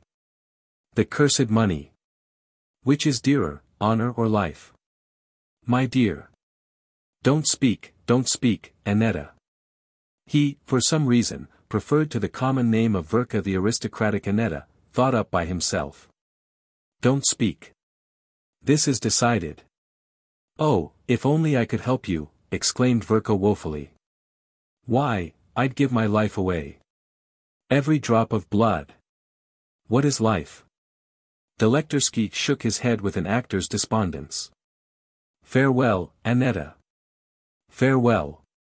The girl desperately began to shake her head. I don't want it. I don't want it. I don't want it. Take me. I'll go with you too. Late in the evening Delektorsky took a room in an expensive hotel. He knew, that within a few hours, perhaps minutes, he and Verka would be corpses. And for that reason, although he had in his pocket only eleven kopecks, all in all, he gave orders sweepingly, like a habitual, downright prodigal. He ordered sturgeon stew, double snipes, and fruits, and, in addition to all this, coffee, liqueurs and two bottles of frosted champagne. And he was in reality convinced that he would shoot himself. But thought of it somehow affectedly, as though admiring, a trifle from the side, his tragic role, and enjoying beforehand the despair of his relatives and the amazement of his fellow clerks. While Verka, when she had suddenly said that she would commit suicide with her beloved, had been immediately strengthened in this thought. And there was nothing fearful to Verka in this impending death. Well, now, is it better to croak just so, under offence? But here it's together with your dearie. At least a sweet death. And she frantically kissed her clerk, laughed, and with dishevelled, curly hair, with sparkling eyes, was prettier than she had ever been. The final triumphal moment arrived at last. You and I have both enjoyed ourselves, Annetta. We have drained the cup to the bottom and now, to use an expression of Pushkin's, must shatter the goblet, said Delektorsky. You do not repent, oh, my dear. No, no. Are you ready? Yes, whispered she and smiled. Then turn away to the wall and shut your eyes. No, no, my dearest, I don't want it so. I don't want it. Come to me. There, so. Nearer, nearer. Give me your eyes, I will be gazing into them. Give me your lips, I will be kissing you, while you. I am not afraid. Be braver. Kiss me harder. He killed her, and when he looked upon the horrible deed of his hands, he then suddenly felt a loathsome, abominable, abject fear. The half-naked body of Verka was still quivering on the bed. The legs of Delektorsky gave in from horror. But the reason of a hypocrite, coward and blackguard kept vigil, he still had spirit sufficient to stretch away at his side the skin over his ribs, and to shoot through it. And, as he pulled the trigger, frantically crying out from pain, from fright, and from the thunder of the shot, the last convulsion was running through the body of Verka.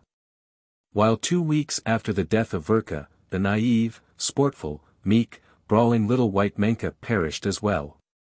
During one of the general, clamorous brawls, usual in the Yamkas, in an enormous affray, someone killed her, hitting her with a heavy empty bottle over the head.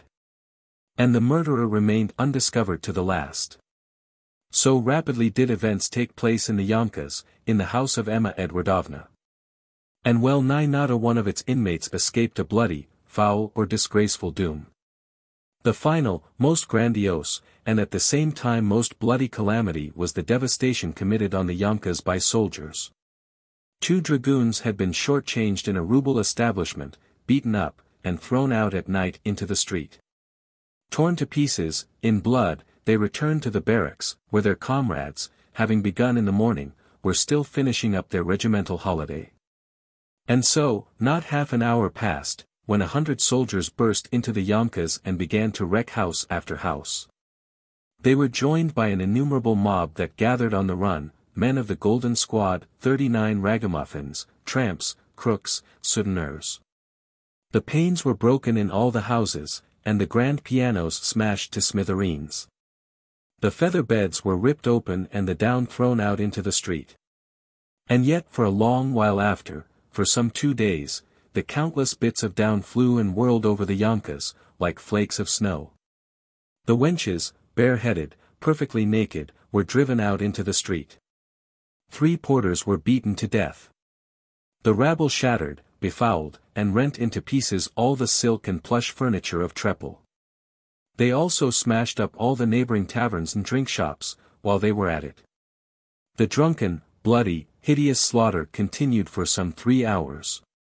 Until the arrayed military authorities, together with the fire company, finally succeeded in repulsing and scattering the infuriated mob.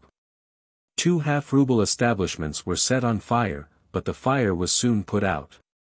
However, on the next day the tumult again flared up, this time already over the whole city and its environs.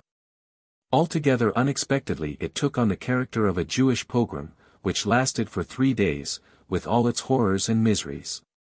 And a week after followed the order of the Governor-General about the immediate shutting down of houses of prostitution, on the Yamkas as well as other streets of the city. The proprietresses were given only a week's time for the settlement of matters in connection with their property. Annihilated, crushed, plundered. Having lost all the glamour of their former grandeur, ludicrous and pitiful, the aged, faded proprietresses and fat-faced, hoarse housekeepers were hastily packing up their things. And a month after only the name reminded one of Mary Yamskaya Street, of the riotous, scandalous, horrible Yamkas. However, even the name of the street was soon replaced by another, more respectable one, in order to efface even the memory of the former unpardonable times. And all these Henrietta's horses, fat kitties, Lelka's polecats and other women, always naive and foolish, often touching and amusing. In the majority of cases deceived and perverted children, spread through the big city, were dissolved within it. Out of them was born a new stratum of society, a stratum of the strolling, street prostitute solitaries.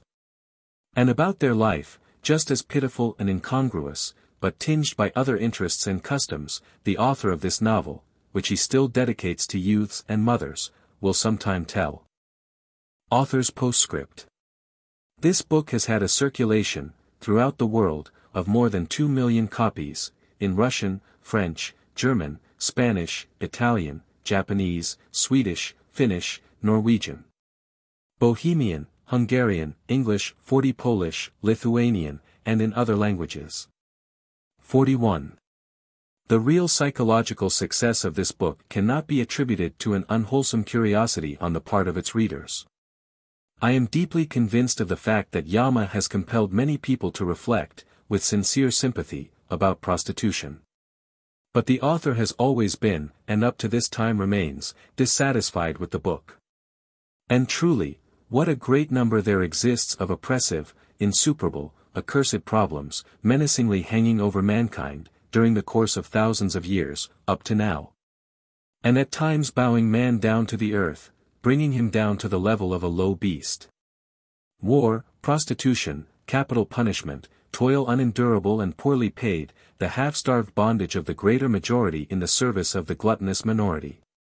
Of these evils I have always found the most evil to be the traffic in the body of woman, the traffic in the love of woman, this highest gift of God to mankind. But to me it seemed that mankind's ancient malady, prostitution, is the one most amenable to a speedy and successful cure. One has, thought I, but to say to man, you, now, have a revered, grey-haired grandmother, from whom you first heard the splendid folk songs. A grandmother who is the pride and the sovereign of the household. You have a mother, whose sweet breast you did on a time greedily and joyously suck, puckering up your blissful, sly little eyes. You have a wife, the mother of your babes, the maker of the family hearth. You have a sister, a playful, merry, marvelous girl, whose voice is song. Why, your eyes suffuse with blood, and your jaws quiver from wrath at the mere thought that someone has dared, in the presence of your dear little sister. To permit himself a phrase of double meaning, or a gesture too free. And, when it comes to your adored little daughter, I would not have the hardihood even to mention her. Yet you calmly go to professional women with your shillings, your dollars, your rubles, your francs, or your marks, for a surrogatum of love. For a convulsive imitation of passion, passion the sole end of which is the great mystery of the conception of new life. The end, and the justification.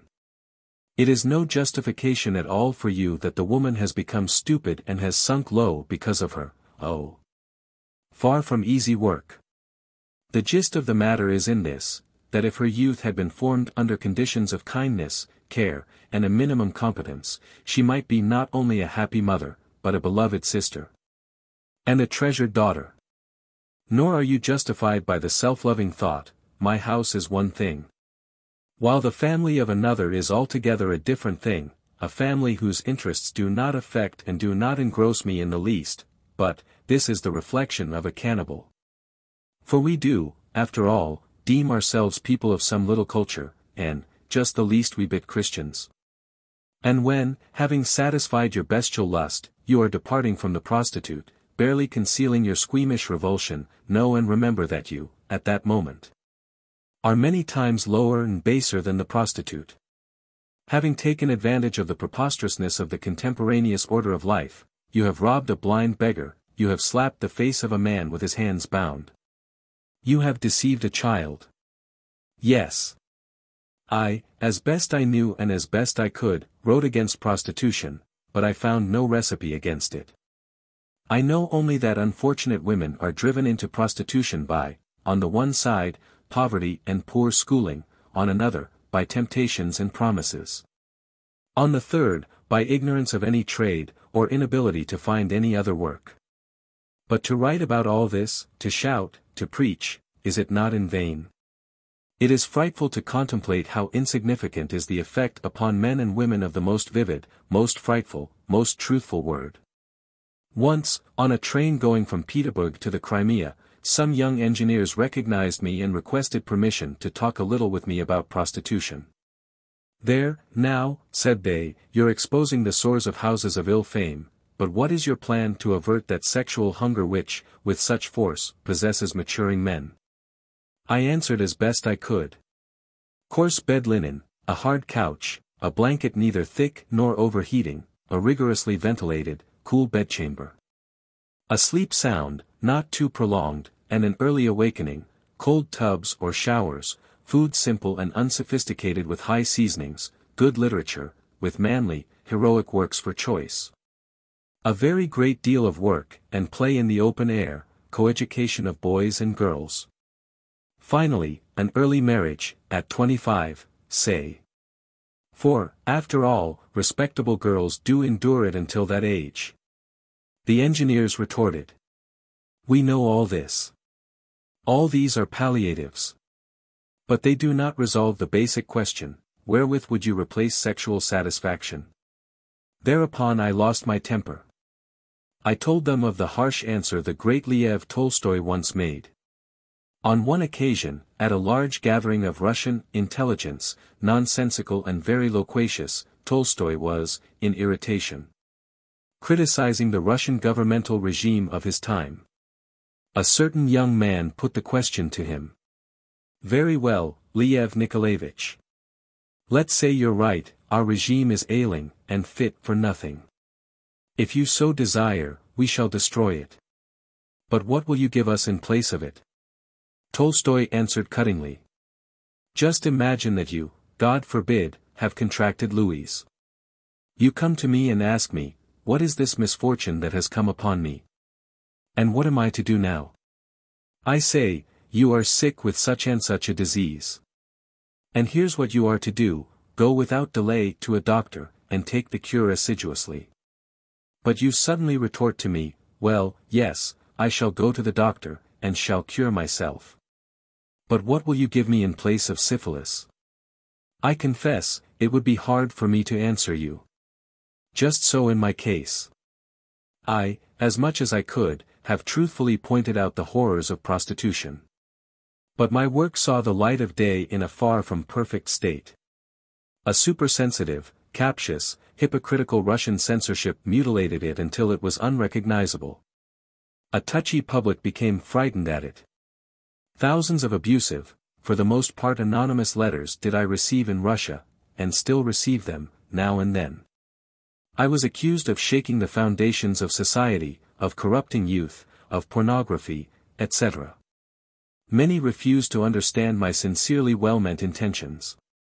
The first friendly, encouraging letters I received from elderly, brainy, worldly wise women, from honest youths who were horrified by their sexual longing, and even from young girls. I also treasure several letters from professional prostitutes, these latter epistles sin against grammar, but their contents are profound and touching. A strange thing, consolation, justification, and recognition I received in Paris, as an émigré. The Parisian press and the Parisian public responded very livelily to my sad novel when it came out in the French translation. The critics, with that finesse which is peculiar to French writers, pointed out the shortcomings, but their general opinion was unanimous, the work, despite certain coarse and bizarre features, was fully moral, and filled the reader's needs, inasmuch as it was permeated with a warm, human compassion. I breathed more freely. And now I rejoice very much that I am to succeed, at last, even though in another tongue, in restoring Yama as it was originally conceived. True, this is none too easy a matter. The deletions of censorship can be restored from memory.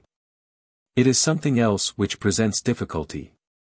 The novel was printed in Russia in a multitude of editions, but printed without plates, from previous editions, and for that reason there were set up in it a multiplicity of typographical errors. Which not only aroused vexation but at times distorted the text until it was perfectly incomprehensible. I have put all this in order, and am now tranquil. My work is in the hands of the very best American translator. And there is one more reason for me to rejoice over the fact that Yama is to appear in America. There, on a time, appeared Uncle Tom's Cabin. Alexander Kuprin.